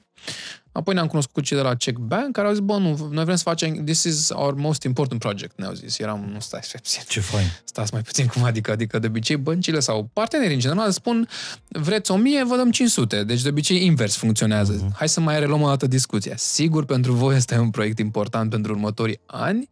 Da. Ok. Iată că s-a adeverit, adică deja lucrăm cu ei de peste 2 ani și vrem să facem și mai multe. Uh, Și suntem în buza lansării, dacă nu s-a și lansat deja când apare podcastul ăsta, a cutiei cu localnici 2022 22. Crăciun. Da. Sunt curios ce o să, ce o să conțină. Ș- Știu de un cozonac.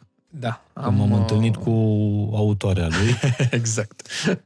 Da. Pentru că n-au găsit un artizan de panetone, uh, ați băgat un cozonac. Am cre- co-creat un cozonac Cu alături de prăjiturela, nu? prăjiturela, da. Da.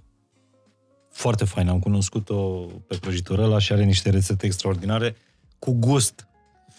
Da, și nouă ni s-a părut, băi, uite câte lucruri poți să faci aici de foarte bună calitate pe care le poți face cadou, inclusiv cutia ai produsă în România. Adică am găsit o fabrică senzațională de, uh, de cutii uh, și cu ei facem inclusiv cutiile aici. Deci n-aduceți nimic de pe vapor? Na, din păcate, vapoarele nu au făcut parte din viața noastră. uh, și asta ne-a, ne-a, pe noi, din păcate, ne, ne, ne surprinde neplăcut că oamenilor nu prea le pasă de chestia asta. Adică discuțiile de foarte multe ori sunt despre cât costă și înțeleg de ce, adică nu putem să cerem prețuri obscene, dar m, cred că va mai dura niște ani până când pe oameni se intereseze cu adevărat uh, ce spuneam noi, că băi, noi putem să vă arătăm exact de unde vine, adică vă dau codul poștal de la respectiva entitate, reacția e "M, și cât spuneai că costă? Ceea ce e normal, adică nu, nu mă aștept să fie o mare schimbare de atitudine prea curând, uh, dar asta nu ne face pe noi să fim mai puțin perseverenți. E foarte fain că uh, găsești în fiecare cutie cu localnici uh, pe care poți să o comanzi pentru tine acasă sau Să faci cadou, da. să o faci cadou din partea companiei. Adică, nu știu, cine hotărăște care sunt cadourile de Crăciun pe care le face o companie? HR-ul, uh, De marketingul? ori e e o întrebare, e un mix între pă, acest departament de achiziții, uh, procurement, uh, HR, finanțe, uh-huh. directorii financiari se... Și câștigă de obicei cea mai bună ofertă uh, câștigă la de preț sau obicei la directorul gust? financiar. corect. el plătește, ea plătește, el uh, hotărăște. Pentru că Uh. eu, de fiecare dată, uh, înainte de Crăciun, uh, fac selecția și las aici în birou și dau mai departe cadou sau uh, pur și simplu le donez o grămadă de pachete care nu au nimic personal, care nu au nimic uh, care să mă emoționeze. Da. Cutia asta cu localnici o duc de fiecare dată acasă pentru că găsesc o lumânare artizanală făcută în România, un vin făcut la o micro, microcramă din, uh, din România. Ce ați mai avut în cutie? Căutăm să ne uităm foarte mult la, ok, care e tendința sezonului sau ce, ce e important, relevant pentru oameni în momentul ăsta. De la dulcețuri care sunt foarte potrivite pentru zona asta de mhm. Crăciun, de exemplu, la zacuscă, Căutăm, dar din păcate și anul ăsta foarte mulți din clienții, cel puțin corporate, uh, pe care uh, îi vizăm înainte de sezonul principal de Crăciun, mulți, de exemplu, n-au mai vrut anul ăsta obiecte pe care nu înțeleg de ce, dar mă rog, uh, obiecte astea mai de durată, gen ceramică, lemn, nu mi-am explicat foarte bine de ce, dar asta e. Deci căutăm să fie multe chestii din zona asta alimentară și pentru care de-a face cu ce facem noi, adică mm. ne știm mai bine că e ciocolată care se face aici, că e zacuscă, că e vin, că sunt tot felul de alcoole în asta gen uh, palincă sau gin românesc, mm. am descoperit și oameni care s-au apucat să facă gin în România. Ehm, astea sunt genul de produse către care ne ducem.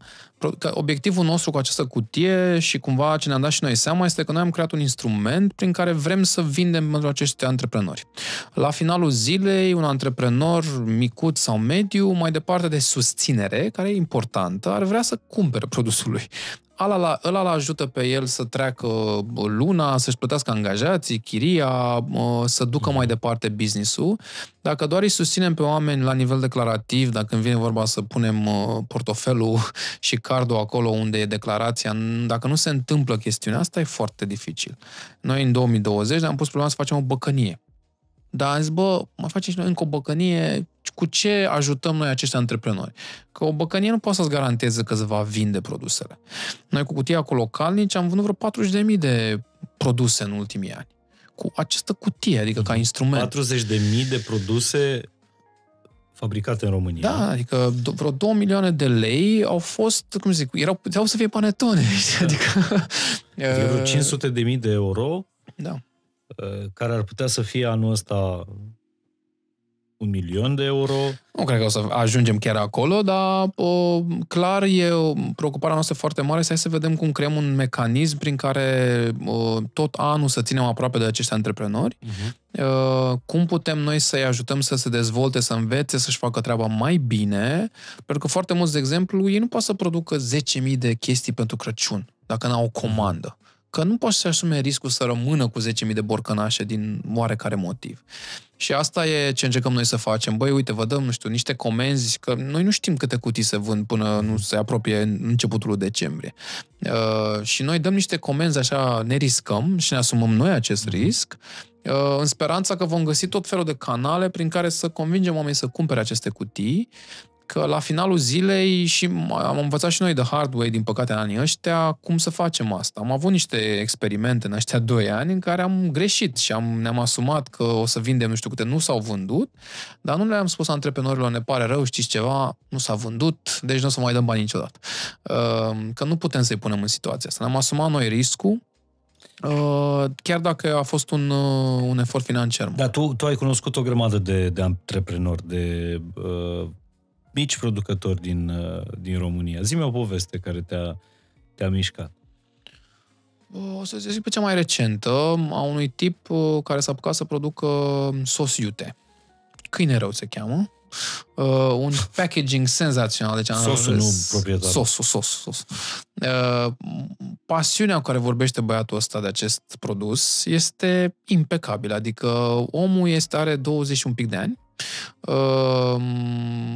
face o facultate de antreprenoriat, uh-huh. că azi există, uh, așa ceva și uh, nu, nu e neapărat bucătar, îți poți imagina, la 20 un pic de ani nu este uh, foarte specializat pe așa ceva, dar a vrut el să creeze un sos iute cu tot felul de rețete, are două, vrea să scoată patru, uh, incredibil. Adică și am zis, băi, nu știu, nu mă pricep la sosuri, mai ales că nu mănânc neapărat iute, mi-a dat și mie să gust. Uh-huh. Foarte, uh, iute. Ceva uh, peste tabasco sau dacă aș ști cu ce gust are tabasco, ți-aș A, nu spune, știu. dar nu am mâncat prea mult tabasco la viața mea, dar cred că peste. Dacă tabasco e așa, mă bucur că am evitat. Tu, tu nu pui tabasco în cafea? Nici în cafea, Doar nici în caramel mâncare. pui. Da. Rrr. Mai prins. Lume, să nu-i vorbiți niciodată lui Răzvan, dar nici mie despre zahăr în E ok, cafea nu sau mai, siropuri deja sau sunt, așa e mai decizia ta. Dacă tu vrei să-ți distrugi limba și gusturile, nu mai pot eu să te opresc. departe.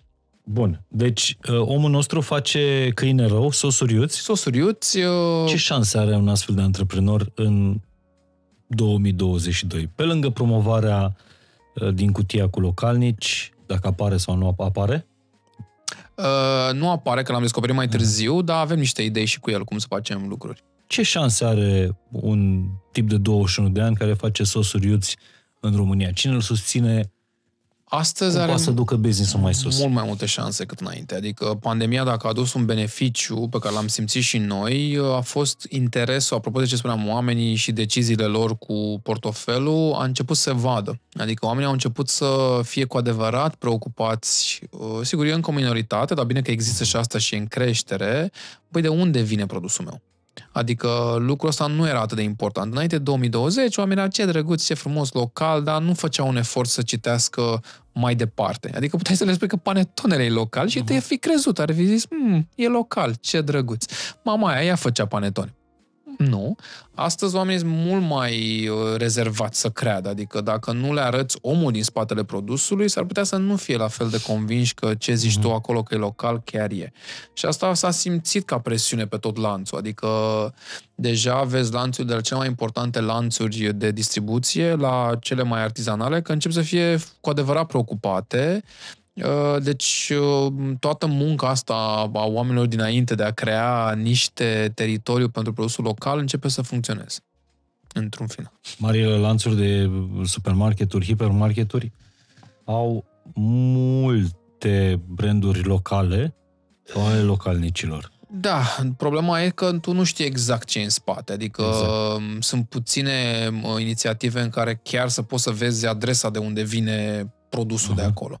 Uh, și asta pentru că noi, ca și clienți, nu suntem interesați. Adică în momentul în care noi o să fim... Eu, de exemplu, n-am mai cumpărat un vin internațional de foarte mult timp. Mă duc chitit să văd, băi, ce aș putea să cumpăr de aici. Și nu pentru că vinul internațional n-ar fi bun, dar aș prefera să beau vin francez când mă duc în Franța. Uh, nu să iau uh, în România sau de altă natură. Și mă bucur că începe și raftul ăsta cu vin în România sau bere artizanală să fie din ce în ce mai mare. Dați-mi tu un băiat care a refuzat să facă facultate, care a avut două eșecuri răsunătoare la început de uh, antreprenoriat. Cum ai convins tu o bancă, și anume Check Bank, să facă un pachet pentru startup-uri care să se numească exact așa, localnici? Păi, discuția noastră cu ea a fost foarte simplă. Ei au zis, mă, uite, noi avem toată această istorie, dar bă, trebuie să învățăm să fim relevanți pentru oamenii de astăzi. Adică degeaba istorie dacă nu ești relevant pentru oamenii Exact. care există astăzi. Uh, Și ne spunea, uite la ce lucrăm. Adică vrem să scoatem tot felul de beneficii, tot felul de servicii, dar credem că suntem mult mai credibili dacă facem asta împreună cu cineva care face lucruri în lumea reală. Pentru că una din marile probleme ale brandurilor este că ele își imaginează că oamenilor le pasă de ce fac ele uh-huh. singur în laboratoarele creației. Uh, lor le-a plăcut la noi și la povestea localnicii natura sa colaborativă. Adică m, și au foarte mare încredere în noi să gândim împreună în pașii următori. De exemplu, acum în toamnă am experimentat o chestie care s-a chemat acceleratorul localnici. Că am zis, mă, uite, oamenii ăștia au nevoie și de tot felul de instrumente prin care să devină mai buni. De la coaching-uri, la uh, sesiuni de mentoring, la modalități prin care ei să găsească bani să, de investiții să crească. Nu un fel de școală pentru antreprenori, un fel de școală pentru micii producători uh, Aș zice locali nici sau... școală, că eu am o sensibilitate cu subiectul școală. Iertați-mă. Uh, aș spune un... uh, Academie vă deranjează? Da, și aia, că e un fel, un fel de școală mai cu Workshop? ștaif. Uh, accelerator. accelerator. Acceleră. Uh, este... Ce accelerator? Uh, E un tren mai rapid. Uh, Este un, uh, o interacțiune în care îi pui în legătură pe oameni cu alți antreprenori uh-huh. uh, și alți uh, posibili experți de care ei ar putea să beneficieze, din a căror experiență ar putea să beneficieze, astfel încât să devină mai bun la ce fac. Uh, școlile mi se pare că îți dau o structură, o, un semestru, uh-huh. o diplomă, o ceva, Academia nu-ți mai zice și o pălărie, uh, deci fără butaforie, uh, chestii cât mai reale. Noi acum, de exemplu, următorul pas cu acest accelerator, este să le dăm cash. Adică să găsim o formulă prin care să le dăm acestor antreprenori niște bani pe care ei să investească să facă mai mult sos, dacă asta vor ei să facă, sau un vin mai bun, pentru că, iarăși, brandurile cheltuie prea mulți bani în zona de să vorbim despre ce facem pentru antreprenori și mai puțin în zona de a-i, uh, de a-i stimula și de a le da ce au ei nevoie și anume resurse la început uh, când clienții încă sunt uh, timizi să încerce. Deci asta ați făcut astă, astă toamnă, da. în, luna, în luna octombrie. Bun, și pachetul ăsta uh, localnici ce înseamnă? Uh, în primul an că, uh, în primul rând că în primul an totul costul, toate costurile sunt gratuite. Uh, îți dă o chestie care are și foarte faină și care mm, Checkbank au fost primii care au introdus-o și anume un POS mobil, îți pui o aplicație în telefon uh-huh. și poți să plătești, uh, poți să primești bani oriunde ai fi, dacă ești la un stand, uh-huh. la, o, la, un, la târg, un târg, de exemplu, un sau la un festival, nu mai trebuie să vii uh-huh. cu device-ul respectiv. Uh, plus îți dă acces la tot felul de beneficii, uh, apropo de uh, poți să faci un site mult mai repede și mult mai simplu, poți să, dacă ești client cel puțin un an, poți să ai acces la niște credite interesante și în general cred că... Um, ai, z- ai zero costuri de administrare. Ai zero costuri an. la orice, da. La orice. La orice. Și la retragerea de bani și la uh-huh. plată. Aplicația de mobile pe care ei au dezvoltat-o arată spectaculos de bine, adică uh-huh. chiar și noi o folosim în businessul nostru care e puțin mai mare decât un startup și e super utilă. Dar ți-am zis, la finalul zilei, uh, și asta iarăși e, e foarte mult, de foarte multă relația cu banca ca antreprenor, te lovești de problema asta cu computer says no. Uh, băncile devin din ce în ce mai digitale și sigur e foarte important și da. util, da. mă, dar câteodată mai trebuie să și vorbești cu cineva. Uh, și asta mi se pare că au reușit cei de la Check Bank să facă, să găsească un echilibru între digitalizare și a avea cu cine să vorbești ești tare, Răzvane. Mi se pare că pe zona asta de antreprenor, antreprenoriat chiar ești uh, cu adevărat un, uh, un influencer. Uh, da, ai ajuns în, în, la statura asta după multe greșeli, multe lucruri pe care le-ai încercat pe pielea ta. Te-a costat mult. Ai... Categoric, nu. Eu nu cred că antreprenoriatul se poate face dacă pornești la drum cu scopul principal de a face bani. Dacă ăsta e obiectivul tău, s-ar putea să nu-ți iasă. Obiectivul tău este să creezi ceva de valoare, care va genera și bani, atunci șansele sunt mult mai mari să-ți iasă ceva. Și dacă te uiți la toate exemplele astea cu adevărat memorabile de antreprenori, nu știu, de la Steve Jobs, care probabil e, nu știu, cel mai cel uh-huh. dintre antreprenori, omul ăsta nu a pornit la drum să facă miliarde. El a zis, băi, o să revoluționez felul în care noi interacționăm unul cu celălalt. Și uite ce a, ce a reușit să creeze în urmă și ce mi se pare mie foarte valoros și pe care iarăși mulți antreprenori o ratează, de mulți antreprenori, antreprenorii nu o ratează, patronii o ratează, este tu nu poți să faci nimic singur. Eu fac ceea ce fac pentru că am o echipă de colegi senzaționali care fiecare e super bun pe ceea ce face iar rolul meu să-mi dau seama, ok, cine poate să facă ce și cum îi pun pe acești oameni în conexiune ca ei să facă și mai bine ce fac, ăsta e rolul meu, de fapt. Eu, dacă nu mă contactează niciun coleg și nu-mi cere nimeni opinia, sunt cel mai fericit om. Că înseamnă că skill-ul ăsta al meu de a-i pune pe oameni în contact și a se descurca fără mine e cumva, cred că lucru prin care trece un părinte. La început copilul are nevoie de foarte multă atenție mm-hmm. și dăruire și protecție și apoi trebuie să învețe părintele să facă din ce în ce mai mulți pași înapoi, să-și dea seama că el știe ce urmează să facă, dar trebuie să lase pe copil să, să cadă, să împiedice, să-și dea seama singur creându-i cadru în care acel copil să învețe totuși din greșeala pe care a făcut-o. Ehm, eu le zic, le zic și colegilor mei care, care începem să lucrăm în bucătărie, de exemplu, că acolo e, e foarte mișto comparația.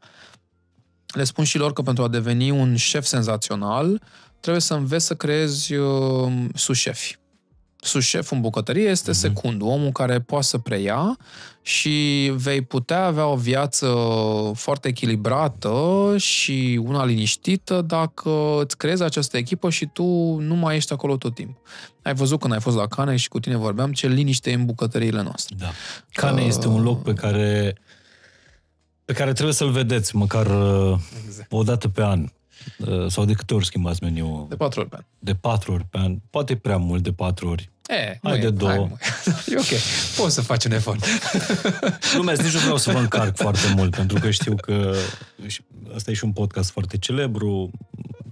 Voi aveți câteva mese acolo, țineți la Asta să fie problema. La Acceptat. Asta să fie problema. Punem acolo, mulțumită lui Povestește-mi despre conceptul ăsta. Cane e un restaurant în care ați băgat o gălăgie de bani, cum se spune. O durere de bani. O durere de bani. Ați luat o casă veche da. care ați băgat două dureri de bani, pe care ați mai venit cu încă o durere de bani și ați făcut restaurantul și apoi a început durerea afacerii. Exact, durerea... și durerea a continuat. Ehm, eu ce, mă, mă, mă fascinează o chestie apropo de acest restaurant. Acest restaurant, încă de prin 2016, am, uh, scopul lui a fost să, pun, să aducă contribuția sa la noua bucătărie românească. Și uh, încă de atunci am tot explorat cum face asta, cum arată, cum se manifestă. Și am, cred că 90%, 95% din uh, întrebările despre ce facem noi este, vai, ce frumos, și reinterpretați bucătăria românească Urmează sunetul de radio. Mua, mua, mua. Uh, e foarte interesant cum lumea crede uh, că gloria noastră e undeva în trecut că momentul de glorie al bucătăriei românești a fost în trecut, deci noi acești băiețică care au, au dureri financiare doar reinventăm. În loc să își pună problema pe care ne punem noi, scopul acestui restaurant este să creeze un viitor pentru gastronomia locală. Să arate contribuția generației ăsteia din care fac și o parte despre cum a arătat acest moment în istorie și relația noastră cu mâncarea, ce au avut băieții ăștia să spună despre gastronomie, ingrediente, cultura în care trăim în 2022. Uh, și de asta noi nu reinventăm nimic sau reinterpretăm, din contră aducem o contribuție și împingem gastronomia, gastronomia românească în viitor. Uh, dându-i o frumusețe deosebită apropo de cum arată farfuria, uh, punând în valoare niște gusturi care sunt reprezentative pentru noi în partea asta de lume. Povestește-mi, te rog frumos, uh, unul dintre preparatele pe care le aveți în meniu. La cană, dacă faci rezervare, e un meniu fix, da. uh, de patru ori pe, pe an, în fiecare sezon se schimbă meniu, e un meniu de degustare. De degustare, da? De la început și până la sfârșit. Nu tu hotărăști, nu tu comanzi, ți se aduce la masă. Tu plătești. Sau, mă rog, cel care te invită. E sigur, da. Uh, noi de ce facem tasting menu este că um, șansele să nimerim un gust mai aproape de ce-ți place ție e mult mai mare când ai o înșiruire de 14 mm. preparate diferite. Povestește-mi un astfel de preparat, că e, e foarte greu să, să le descriu eu. Unul dintre cele mai șmechere. Așa? Este un preparat care are trei chestii. Varză, um, brânză de horezu care e lichidă, făcută sos și ceapă murată. Ehm, gustul ăsta e at- și varza respectivă ea e specială pentru felul în care e gătită. Uh-huh. Stă pe un, pe un grătar cu jar o anumită perioadă, la o anumită temperatură, dacă să la fum cum trebuie, uh, să, ca să poată să fume cum trebuie colegii mei ingredientul. Combinația asta e una atât de balcanică, probabil gustul la care te vei gândi va fi sarma, dar fără carne. Uh-huh. Uh, și e fascinant că arată atât de delicat și de frumos în farfurie. N-ai zice că e o chestie care, mă, te izbește gustul ăla, care sigur dacă ai locuit în regiunea asta știi despre ce e vorba. Dar e gust de sarma sau nu? Sarma vegană, dacă Vegan. aș putea să o, uh-huh. vegetariană, că brânza. Ehm, sarmalele au această fumătură în ele și care mm. și de regulă domină lucru în care e învelită sarmaul, neapărat interiorul său, din câte știu eu despre sarmale, da, n-aș fi un expert. Uh, însă gustul și ce e mișto este că oamenii care locuiesc în regiunea asta imediat îl recunosc, în timp ce oamenii care descoperă regiunea asta sau sunt pentru prima oară în vizită, rămân cu un gust atât de memorabil uh, și un lucru pe care nu l-au cunoscut sau nu l-au întâlnit poate în alte părți de unde sunt ei. Da, e foarte greu de explicat ce, ce se mănâncă la, uh, la cane. Zim, de exemplu, un desert. Ah, adică la mine șocul a fost la deserturi. Depinde de sezon. De exemplu, vara asta am avut un, un desert care a fost și cel mai controversat, dar și cel mai interesant în același timp. Era o înghețată de mazăre verde cu rubarbă, care mergea excepțional de bine cu spumant pentru că dacă îl mâncai fără să bei spumantul, nu era la fel de intens uh-huh. și de spectaculos gustul. Uh, rubarba, de exemplu, apropo de zona în care suntem noi, rubarba se crește în Transilvania din secolul XVI. Da. Uh, Ales în zona Brașovului. În adică zona și noi, în research pe care l-am făcut despre cane, am fost foarte impresionat de ce mâncau de fapt românii și ce gen de ingrediente existau în zona asta de lume de-a lungul istoriei. Uh, de asta spun că mai degrabă misiunea unui astfel de loc este să creeze un viitor și să îți pună tot felul de întrebări. Și voi, absolut tot meniu vi-l procurați cu ingrediente locale? Da, preocuparea de bază este, băi, cum gătim cu lucruri care sunt specifice zonei. Nu o să vezi sezonului. caracatiță la noi prea des, da, sezonului. Nu o să vezi homar, deși un ingredient spectaculos, nu o să mm-hmm. vezi vită din Argentina. Uh, e și o preocupare și, în general, restaurantele astea de fine dining sunt din ce în ce mai preocupate despre impactul asupra mediului.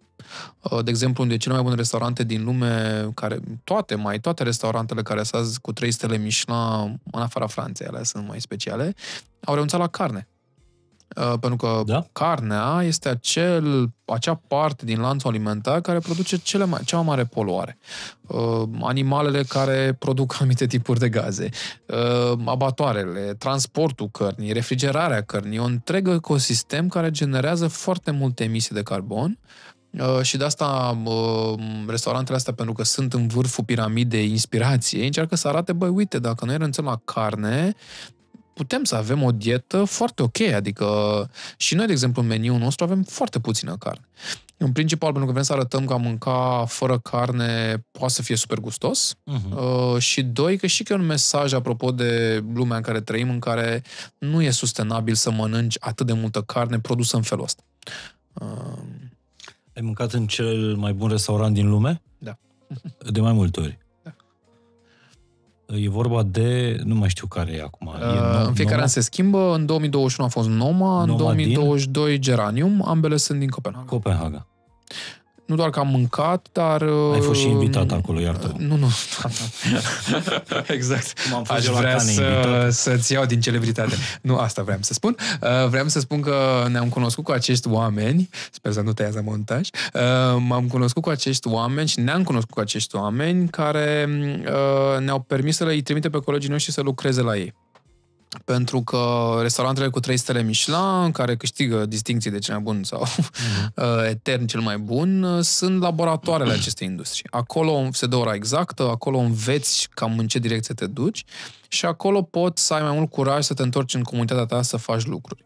Și e foarte fain că în fiecare an colegii noștri merg prin rotație să lucreze la unul dintre ele, tocmai ca să învețe uh, ce înseamnă și cum arată, dar și pentru că e un mod prin care noi vrem să-i stimulăm. Uh, revin la ce spuneam mai departe de nevoia de profit. Dacă un business nu e clădit pe interesul nostru comun al lor care stăm acolo și pasiunea de a face ceva excepțional, pe mine mă distrează foarte mult chestiunea asta că mulți competitori de-ai noștri caută să recruteze pe colegi, le oferă bani mulți bani. Și sunt de dreptul intrigați de ce colegii mei nu pleacă pentru mai mulți bani. Uh, nu înțeleg. Și oricum, și pentru despre mine au o părere foarte amuzantă, dar sunt cum adică, uite, ți-am oferit dublu. Uh, colegii mei vin și le spun, bă, dacă aș putea să fac inconștiența asta care se întâmplă la cane, în mediul ăsta, în genul ăsta de respect față de noi ca meseriași în ce facem, sigur. Apoi nu, că noi desfacem bani. Păi atunci vă urăm succes. Dar voi sunteți în zona de bucătărie moleculară sau nu, nu, bucătăria moleculară a fost un fenomen destul de popular în anii 90. Între timp a, a cam dispărut. Focalizarea restaurantelor care azi sunt lideri mm. în tot ce înseamnă premii și stele Michelin este despre local și despre cum poți să gătești cu lucruri care se găsesc în jurul tău, nu lucruri care nu sunt specifice regiunii tale. E de o mie de ori mai greu să faci ceva cu o varză decât să faci cu un ingredient care e deja bun. Adică francezii vor face chestii cu homarul, pentru că acolo este homar și crește în zona uh-huh. lor. Uh, în România vei găsi, nu știu, bibilică sau vei găsi cerb sau vei găsi uh, varza de care spuneam, și rubarbă și așa mai departe. Fără absolut niciun fel de mândrie patriotică, falsă mândrie patriotică, avem Marea Neagră are cel mai bun calcan, din uh, Avem niște uh, scoici foarte interesante de foarte multe feluri. Care Pentru că salinitatea Mării Negre e foarte interesantă, e foarte scăzută spre deosebire de, de Mediterană. Deci avem din ce să ne facem mâncare? Avem, avem. Și mai ales în zona asta de legume. Acolo am excelat întotdeauna. Zim 5-6 ingrediente sacre românești.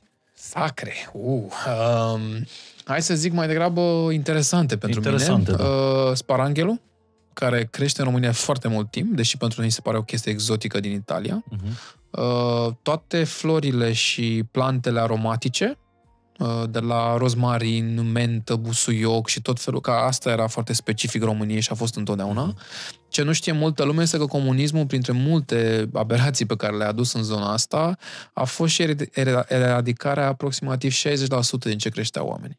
În 50, uh, comuniștii au zis nu putem să hrănim un popor cu de-astea boeme.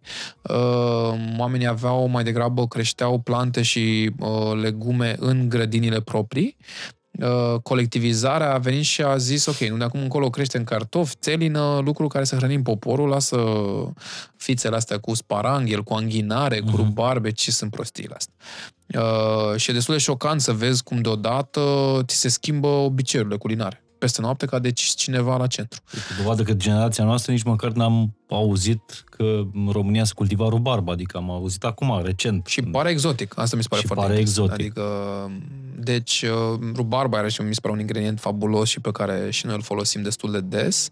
Deci lucruri de genul ăsta cred că sunt uh, câteva uh, pe care le folosim noi frecvent și mm-hmm. de foarte multe ori. Ceapa, care personal nu-mi place mie, dar asta e.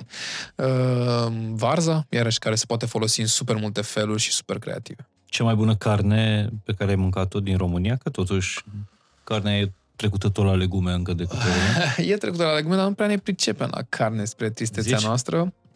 Da, pentru că... Un cocoșel de munte, un ceva. A crește carne presupune skill și presupune dezvoltare economică, care în partea asta de lume noi n-am avut. Și presupune poluare. Astăzi presupune mai mare. foarte mare poluare. Uh, probabil uh, cele mai bune cărnuri pe care noi am reușit să le creștem în partea asta de lume sunt zona de pui, păsări, bibilică uh-huh. pe acolo. Uh, pentru vită sau pentru porc uh, trebuie să fii foarte atent și foarte atent uh-huh. la tot ce înseamnă partea asta de ce mănâncă animalul, cum ai grijă de el, uh, cu cât o faci mai industrial, cu atât produsul final uh-huh. nu va fi foarte bun. O mangaliță și la mangalițe, când cam eșuăm încă, adică... Deci un porc, un porc nu e... Că noi știam așa, cu cât e mai, are mai multe kilograme, cu atât porcul e mai bun.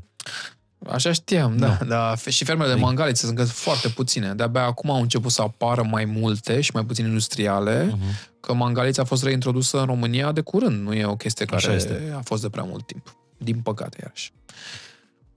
Dar de ce, nu, nu înțeleg, de ce să bagi atât de mulți bani într-un restaurant? Voi ați cumpărat, ați cumpărat, ați închiriat. Am închiriat, da. O Putem. casă. Ar fi trebuit să o cumpărăm, dar am închiriat. În centrul București. În centrul Bucureștiului, pe care ați restaurat-o uh, și ați făcut restaurantul ăsta absolut, uh, absolut minunat ca, ca poveste. Eu, e, e cu adevărat o călătorie prin gusturile românești, fără să guști mici, sarmale, sau tocăniță. Dar e efectiv o călătorie prin simțurile uh, românești. De ce să bagi atâția bani într-un restaurant care nu e, nu e o fabrică de bani? Nu poți să schimbi e... lucrurile dacă faci lucruri cu minți. Adică dacă n-ai o ambiție, o viziune, o dorință de a pune o amprentă a, cum spuneam, generației din care facem noi parte, Uh, restaurantul ăsta se întâmplă pentru că eu l-am cunoscut pe omul care este de șef, Cătălin Bejnariu, el conduce uh-huh. restaurantul creativ și alături de el și eu am crezut și cred că, cum spuneam, generația noastră poate să creeze o amprentă și poate să arate niște lucruri. uh, amprentă care nu este un moment în timp, adică nu este meniu din 2022, toamnă și gata, s-a terminat.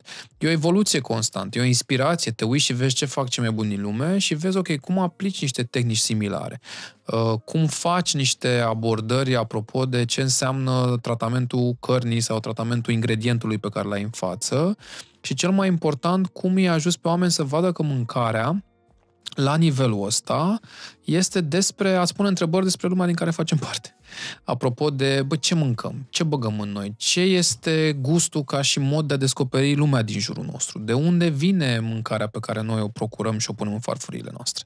De ce e ok să zbori un pește cu avionul nu știu câte zeci de ore uh, ca să te bucuri de el undeva unde n-ar trebui să te bucuri de el, știi? Adică repet, cele mai bune restaurante din lume au avut această schimbare de atitudine. În anii 90 tot era la fel. Aveai același meniu, că era la Londra, Paris, New York, Tokyo, nu conta.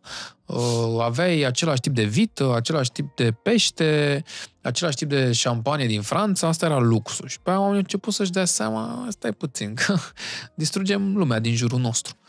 Uh, deci pentru noi ca obiectiv a fost hai să punem România pe hartă, hai să arătăm că prin skill ăsta pe care noi îl avem, arătăm că meseria asta de ospătar, bucătar mm-hmm. e de fapt despre uh, o meserie cu care trebuie să ne mândrim, nu e ceva da pe care o faci așa în tinerețe și strece și mai mult am vrut să arătăm că poți să ai niște echilibru în viața asta. Adică în viața asta de a munci în ospitalitate. De exemplu, la Cane, încă de la început am deschis doar pentru cină, doar miercuri, joi, vineri, sâmbătă, Uh, și asta pentru că vrem ca mai noștri colegi când vin la muncă să fie relaxați, să le placă, să nu plece de acolo rupți. uh, și am căutat mereu, hai să găsim echilibru și modelul financiar prin care să facem asta.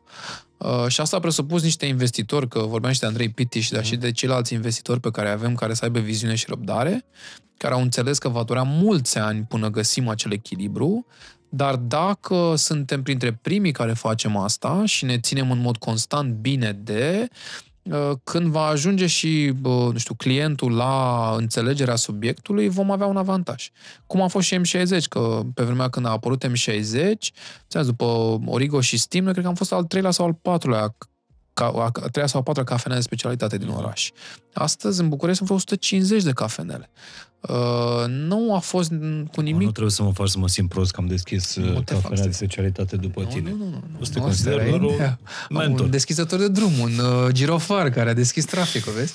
Uh, la fel și cu pizza. Adică când am făcut pizza napoletană, uh, mi-am și discuția cu, cu bancherii care ne-au finanțat la vremea respectivă. Unul dintre ei s-a preocupat și a căutat pe net. Așa și mi-a zis, mă bete, sunt 220 de pizzerii în acest oraș. Ce te face pe tine să crezi că a 221 va fi cu ceva diferit?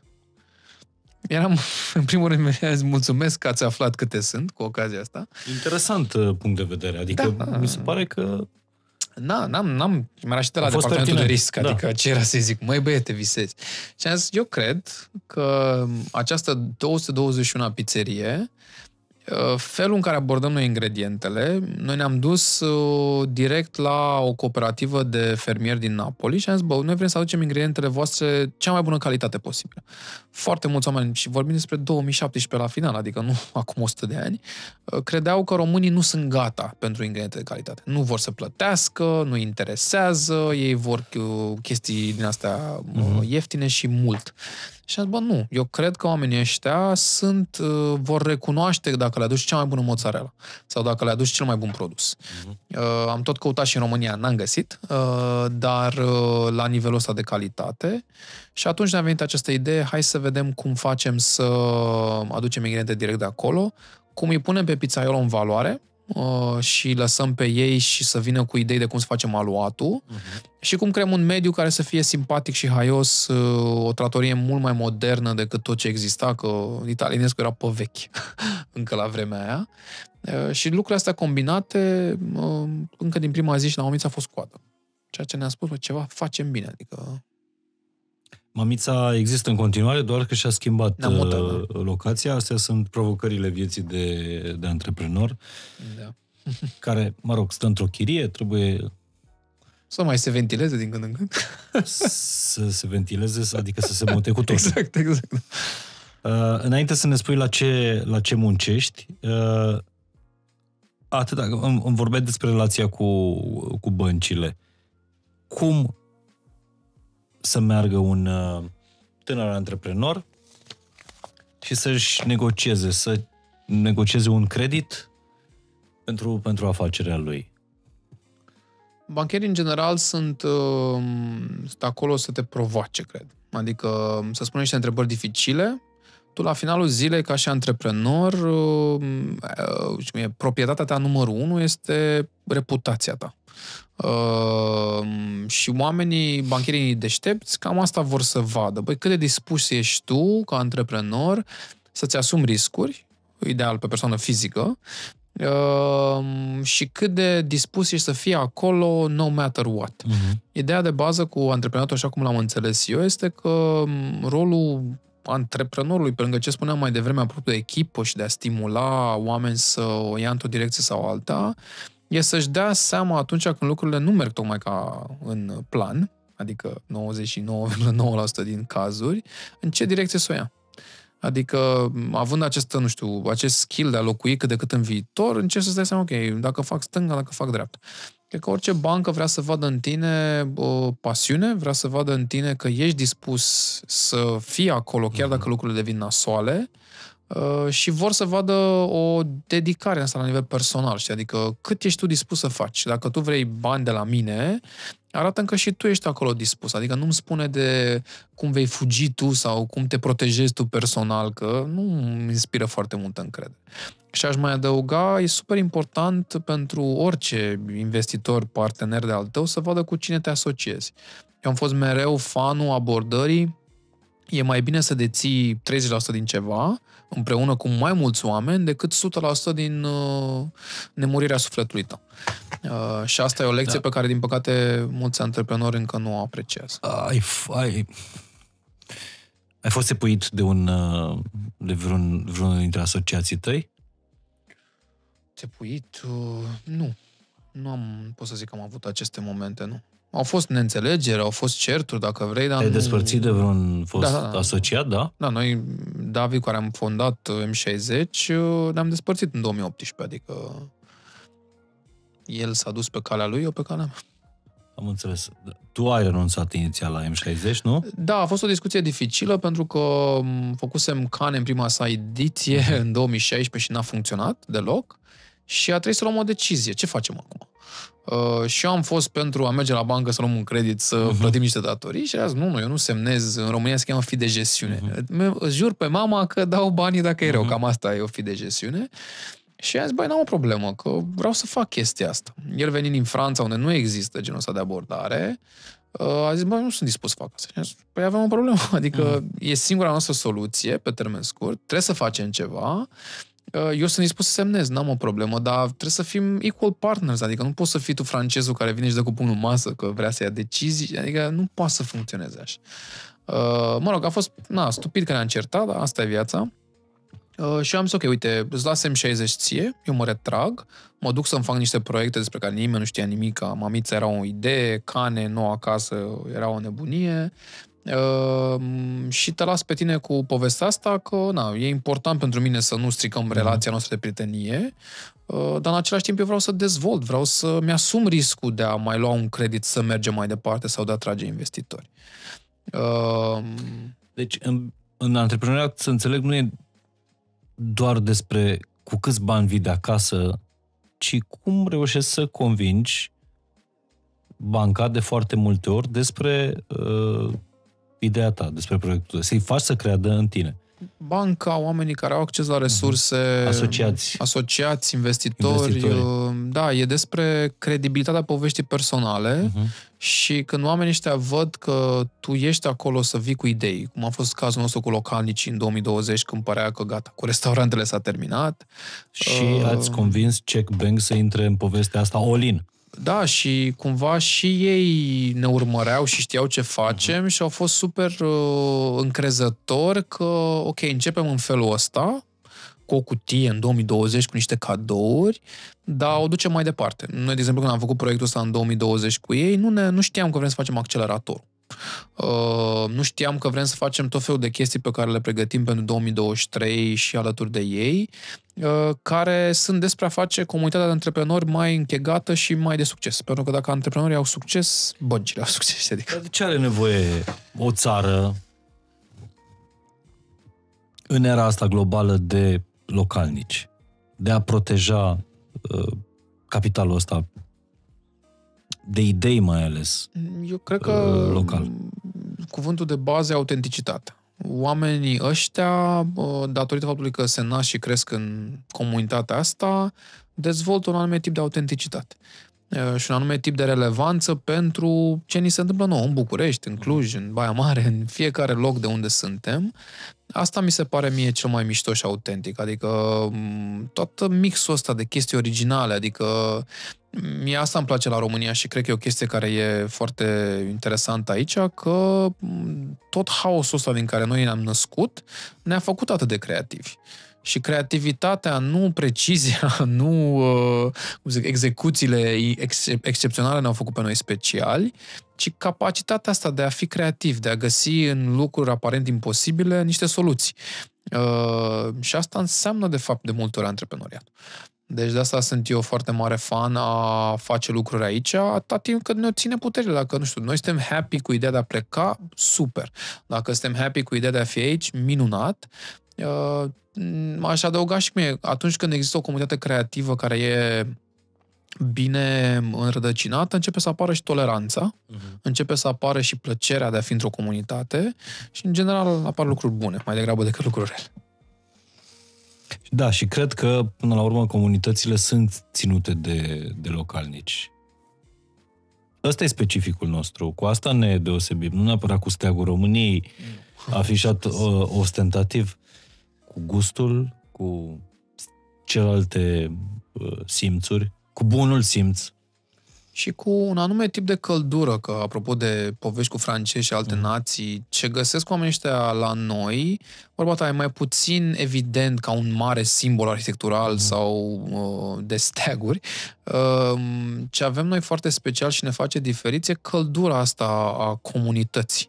Uh, e foarte greu de pus mâna pe ea, e foarte greu de uh, îmbutelia, dacă mm. vrei, dar, uh, nu știu, energia asta care se naște când niște oameni în situații dificile totuși găsesc ceva plăcut, e ce e special, știi? Adică, cumva, pentru că mulți oameni mă întreabă pe mine când mă potolesc, știi? Adică, mai ales din speța familială. Uh-huh. Eu nu o să mă potolesc niciodată, adică, din contră, mi-e teamă că atunci când mă voi potoli, uh, energia mea de antreprenor dispare. Ori nu vreau asta, știi? Adică eu mereu o să fiu foarte entuziasmat să fac încă ceva sau încă ceva și o să-i provoc pe colegii mei, dacă noi, nu știu, devenim vreodată cel mai bun restaurant din lume, what next, știi? Adică nu o să zic, băieți, grata, mulțumim, mic drop, s-a terminat, acasă. ce are, ce are cel mai bun restaurant din lume, da? Ai mâncat și la unul și la celălalt, la titlurile din ultimii doi ani. Amândouă în Copenhaga, zici. Da, ambele sunt în Copenhaga. Ce au? Ce are ea și nu am eu? Uh, ele sunt, ambele restaurante, uh, un simbol, de fapt. Un simbol despre cum o țară și un oraș cum e Copenhaga, în care nu prea găsești nimic de mâncat în mod natural, adică natura nu i-a ajutat pe oamenii ăștia, uh-huh. cum mai nimica, cum totuși reușesc acești oameni împotriva evidentului să facă ceva atât de special și cum au reușit uh, în ultimii 20 de ani, că ce au făcut ei și de ce au ajuns number one este munca din ultimii 20 de ani. Asta e doar o încununare a ce au făcut ei în ultimii ani. Au reușit ei și comunitatea din care fac parte să arate că un loc despre care, cum să zic, n-avea nicio șansă să devină capitala culinară a lumii și a Europei, dar lucrând împreună, muncind foarte mult să arate, băi, stai puțin că verdeața asta pe care noi o avem este de fapt aia care ne face specială și trebuie să-i dăm valoare și trebuie să o punem meniu de vară la Noma asta vară. Dacă am, am, am fost cu un grup de români care au, s-au distrat copios, era printre altele o sărmăluță. Adică, cum să zic, spiritul ăsta de răzbunare a fost așa, aha, iată că și aici. Sau era un, bucăț, o, un buchețel de plante aromatice care creșteau acolo. Le vedeai cum cresc după uh-huh. în curtea restaurantului. Nu era vreo, vreo chestie de asta să plutească vreun reușor de ce... Nu avea nimic spectaculos apropo de ce ai zice, mama, vezi acolo. Din contră, nici gustul nu era ceva să zici, mama, am mâncat ceva, o să țin minte toată viața mea restaurantele, în general, sunt despre context și despre ce ți se întâmplă în jur. Oamenii ăștia au devenit cele, au, au cele mai bune restaurante din lume, apropo de mhm. simbolistică, pentru că au reușit să arate că valoarea vine din a face lucruri senzaționale cu cei lângă tine. Asta, de fapt, e ce a stat în spatele. Acum, de exemplu, toată lumea vorbește despre faptul că anul viitor World's Best Restaurant e un restaurant din Lima, din Peru, care la fel a venit să arate că această țară, care e apare... fabuloasă, înțeleg. Da, dar care apare nu e pe radarul nostru ca un loc în care există bucătărie senzațională. Individul ăsta a devenit faimos când a creat un meniu pe altitudini. Practic, în restaurantul lui mănânci o chestie începând de la 2000 de metri pătrați și coboară până la nivelul 2000 de metri altitudine. Da, 2000 de metri, scuze. Adică despre asta e vorba când ajungi cel mai bun din lume. Care e mesajul despre comunitatea din care faci tu parte și cum arăți că bucățica aia de lume e de fapt cea mai specială parte a lumii. Deci ca să fii cel mai bun din lume, nu neapărat în, în restaurante, trebuie să te inspiri din ce face lumea în momentul ăsta, dar uh, se va trebui să-ți vină întotdeauna din cei lângă tine că caută în jurul tău cei mai buni oameni, idei, uh, ingrediente și așa mai departe Clar. și dovedește că ești cel mai bun din lume. Am fost e o morală mic, bună uh, pentru antreprenori. Este, este. Și când am fost mic, mai mic, am făcut un interviu cu Oana Pelea. La un moment dat, Oana trebuia să vină la o conferință, n-am mai putut și am zis, Oana, trebuie să facem un interviu cu tine, că trebuie să le zici la copiii ăștia lucruri. Am prins-o în hol unui hotel, în fine, Uh, m-am ținut de ea până a dat interviu respectiv. Și nu o să niciodată cum, mă rog, Moana Pelea când se uită la tine, te, ești așa, uh, uh, te pierzi. Uh, și am întrebat-o ce face un actor să-l deosebit, știi, adică față de toți ceilalți actori. Și că s-a uitat în ochii mei așa și s-a apropiat și a zis, Răzvan, dacă n-ai nebunia aia în ochi, să dai tot ce ai în tine, să simți că nu mai poți, nu mai ai aer dacă nu faci lucrul ăla de care ești pasionat, Bine că nu eram eu filmat, că cred că era așa o față din asta ușor pierdută. Uh, ea zicea că la actorie, la vremea respectivă, aveau această vorbă cu uh, fruntea sus, genunchii tari, că se cade de multe ori, e foarte umilitoare cariera de actor, tu trebuie să te să uiți cine ești tu ca să-ți intri în personaj, că altfel exact. oamenii o să simtă că tu ești cu bullshit-ul. Uh, asta înseamnă, de fapt. Cu cât ești tu mai în personajul pe care vrei să-l arăți lumii, cu cât ești mai autentic și mai onest, cu atât o să ajungi uh, world's number one. La ce proiect lucrezi acum, în afară de cutia uh, cu localnici de uh, Crăciun? Um, deci îmi dau seama despre restaurante este că cele mai mișto restaurante din lume sunt alea independente și alea în care există cineva acolo care e pasionat de ceea ce face și asta vreau să fac, să pot să creez un model de business în care dacă tu vrei să-ți faci propria ta cafenea sau restaurant, foarte multe business-uri în domeniul ăsta eșuează. 9 din 10 se închid, 8 uh, în primul an, al 9 în al doilea an și rămâne unul în picioare. În Horeca, da? În Horeca. Hotelul, da. restaurante, cafea. Ospitalitate, da. da. Uh, și asta se întâmplă nu pentru că omul ăla nu știe să gătească sau nu știe să facă cafea.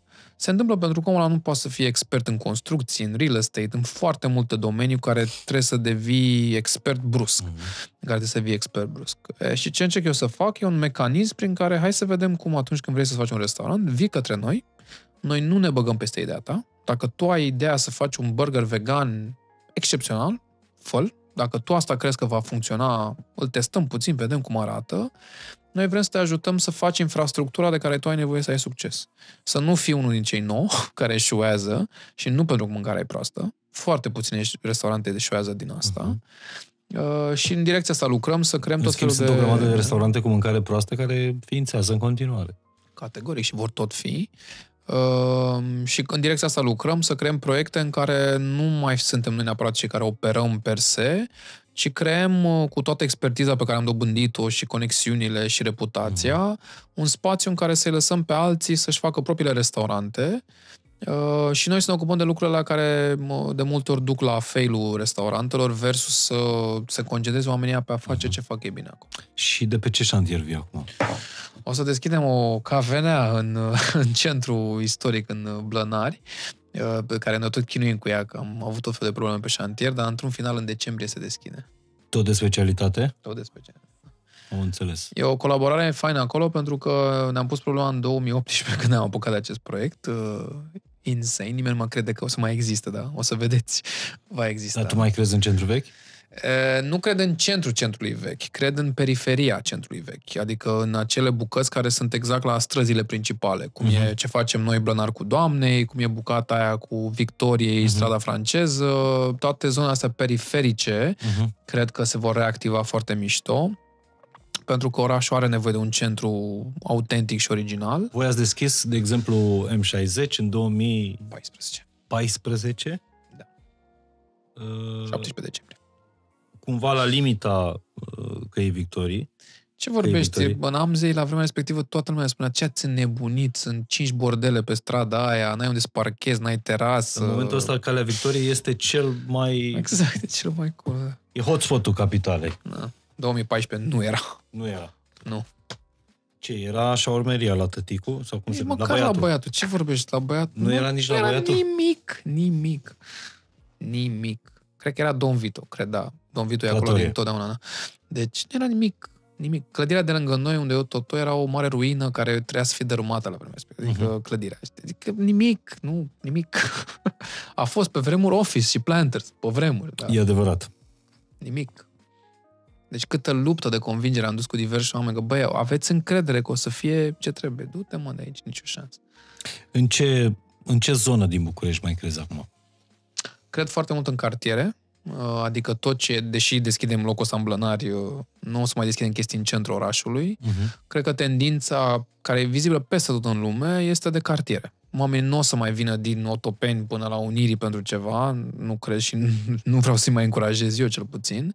Cred că vor începe să apară chestii mișto în, nu știu, Pipera, în Iancului, în uh, Basarab, de uh-huh. exemplu, Uh, în drumul taberei, știi? Adică cred că oamenii nu mai vor vrea să călătorească atât de mult, vor vrea să aibă și în cartierele unde sunt ei lucruri de calitate.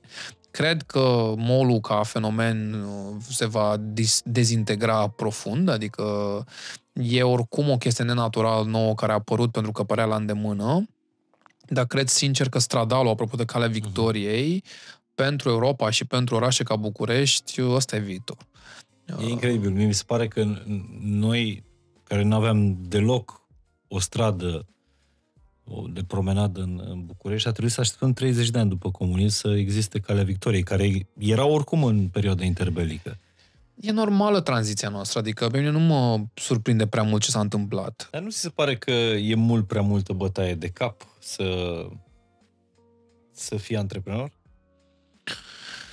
Cred că ține de tine cum îți structurezi uh, presiunea asta, știi? Adică cunosc oameni care, uh, cum să zic, e o tragedie să aibă, să fie responsabil pentru sine. Uh-huh. Și e greu și complicat. Noi în momentul ăsta avem 120 de colegi, wow. anul viitor pe vremea asta o să fim vreo 300. Adică, da, adică nu, nu mă trezesc dimineața cu ținându-mă de pat, leu, ce fac azi? Adică am încredere că am niște colegi care se ocupă de fiecare ce are de făcut, uh, caut să creez nu știu, o cultură organizațională în care oamenii se deschiși și înainte să vină cu toporul, zic că s-a întâmplat nu știu ce, bă, puneți-vă întrebarea mai întâi, înainte să vă supărați, de ce s-a întâmplat chestia. Întrebați, bă, e ok, e vreo problemă și după aia cu toporul, că, uh-huh. na. Mhm. Uh, caut să creez un mediu în care oamenii sunt cât se poate de mai întâi întreabă și după aia judecă. Că de foarte multe ori conflictele apar pentru că oamenii nu înțeleg intenția celui din partea exact. cealaltă.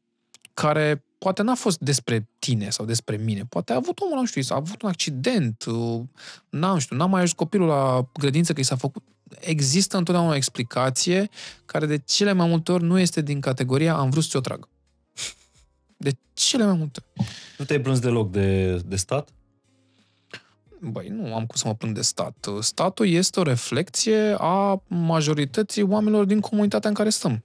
Adică eu merg des în Copenhaga, că am multe proiecte acolo, comunitatea daneză se comportă într-un fel, ceea ce le dă cetățenii, politicienii, cetățenii, că da, adică e o tranzacție foarte simplă. Noi avem ce avem pentru că noi ne dorim acest Bun, lucru. dar pe de Cât altă se poate de parte, simplu. statul ăsta român nu arată precum clienții M60. Așa este. Pentru că Și e o cum minoritate facem? ce se întâmplă în MC. Eu cred și cum e, în antreprenoriat, ești foarte mult, de foarte multe ori pus în fața unor decizii foarte dificile. Trebuie să fac asta, trebuie să fac asta, trebuie să găsesc o soluție să plătesc chestiile astea. La fel e și cu uh, geopolitica. e foarte simplu, la f- de fapt. E, e nedrept, e aiurea, e de căcat că explicația e atât de simplă. Democrația nu înseamnă, eu cred despre democrație, că înseamnă mai multe responsabilități decât de drepturi înseamnă, nu știu, la bloc să... Eu, de exemplu, mă lupt cu vecinii mei de bloc, stau în blocul în care m-am născut, m-am reîntors acolo. Locuiesc Iancule. singur, da. Uh, am închiriat de la taică mi apartamentul. Tata e un antreprenor. Îi Mhm. plătești chirie. Da, da. Uh, e un anume tip de antreprenor. Sper că tata. la prețul pieței. Am negociat.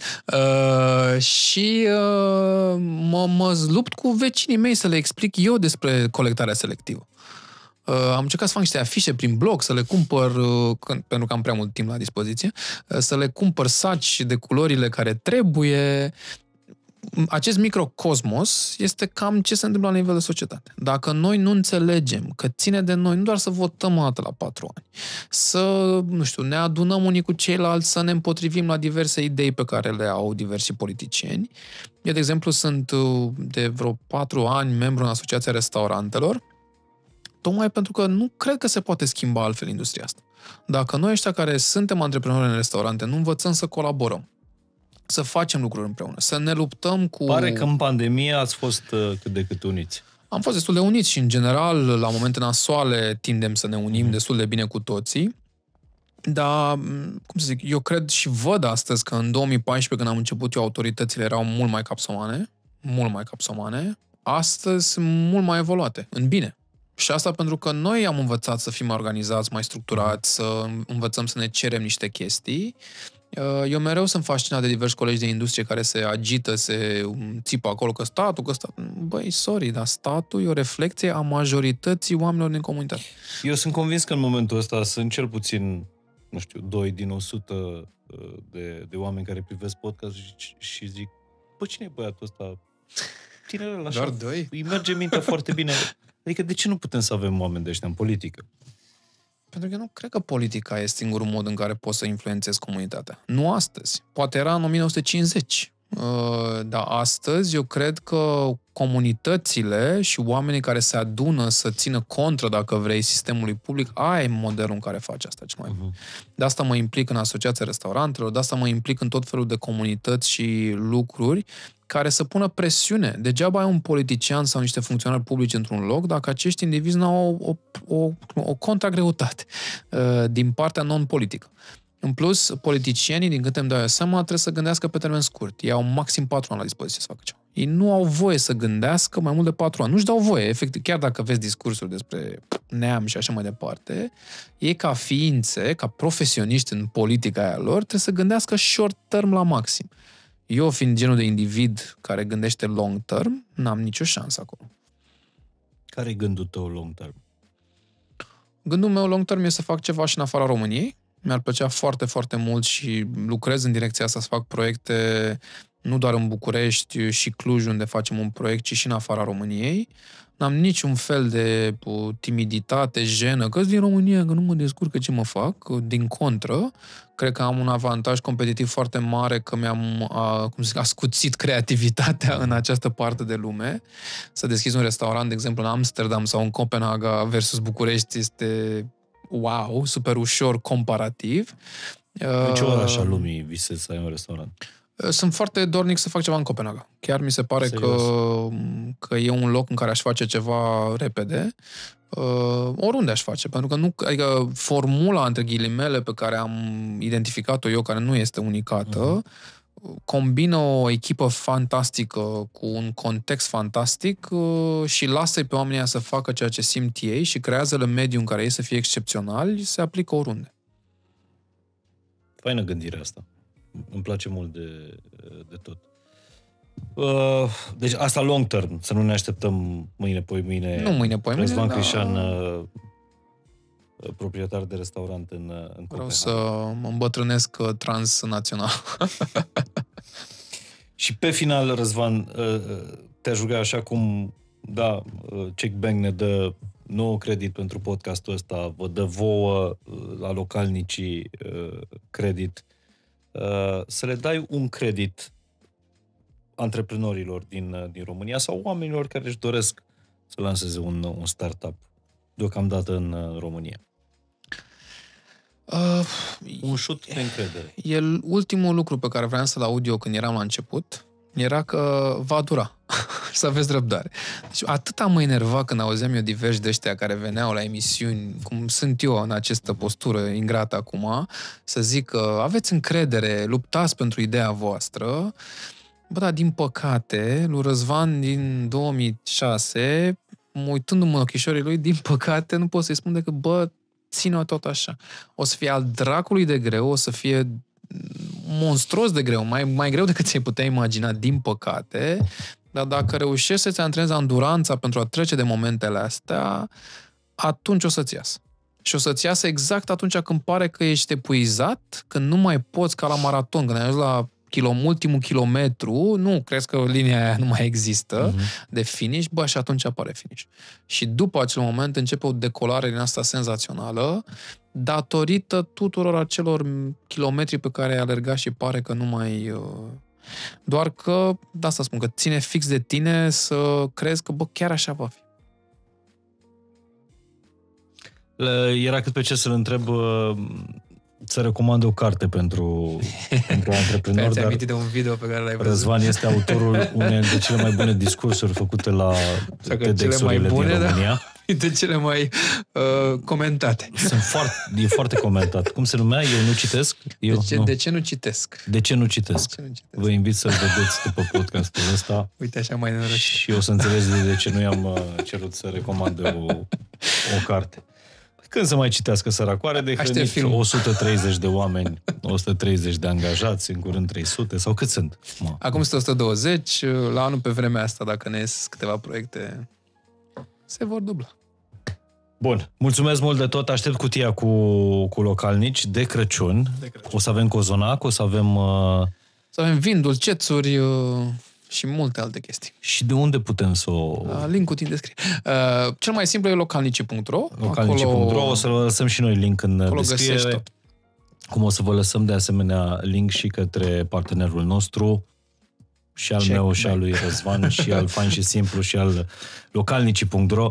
E vorba de Check Bank și pachetul Startup Localnici pentru persoane juridice care vine cu zero costuri în primul an și cu o grămadă de avantaje despre care Răzvan a vorbit, dar o să vedeți mai multe în, în link. Credeți-mă, cutia cu localnici, o tot recomand de vreo 2 ani de zile, este un cadou și corporate și uh, personal foarte fain de, uh, de Crăciun. Eu cred că l-am dus uh, lui maică mea și a fost foarte, foarte, foarte încântată. Păi zine, că nu o să-i trimitem direct.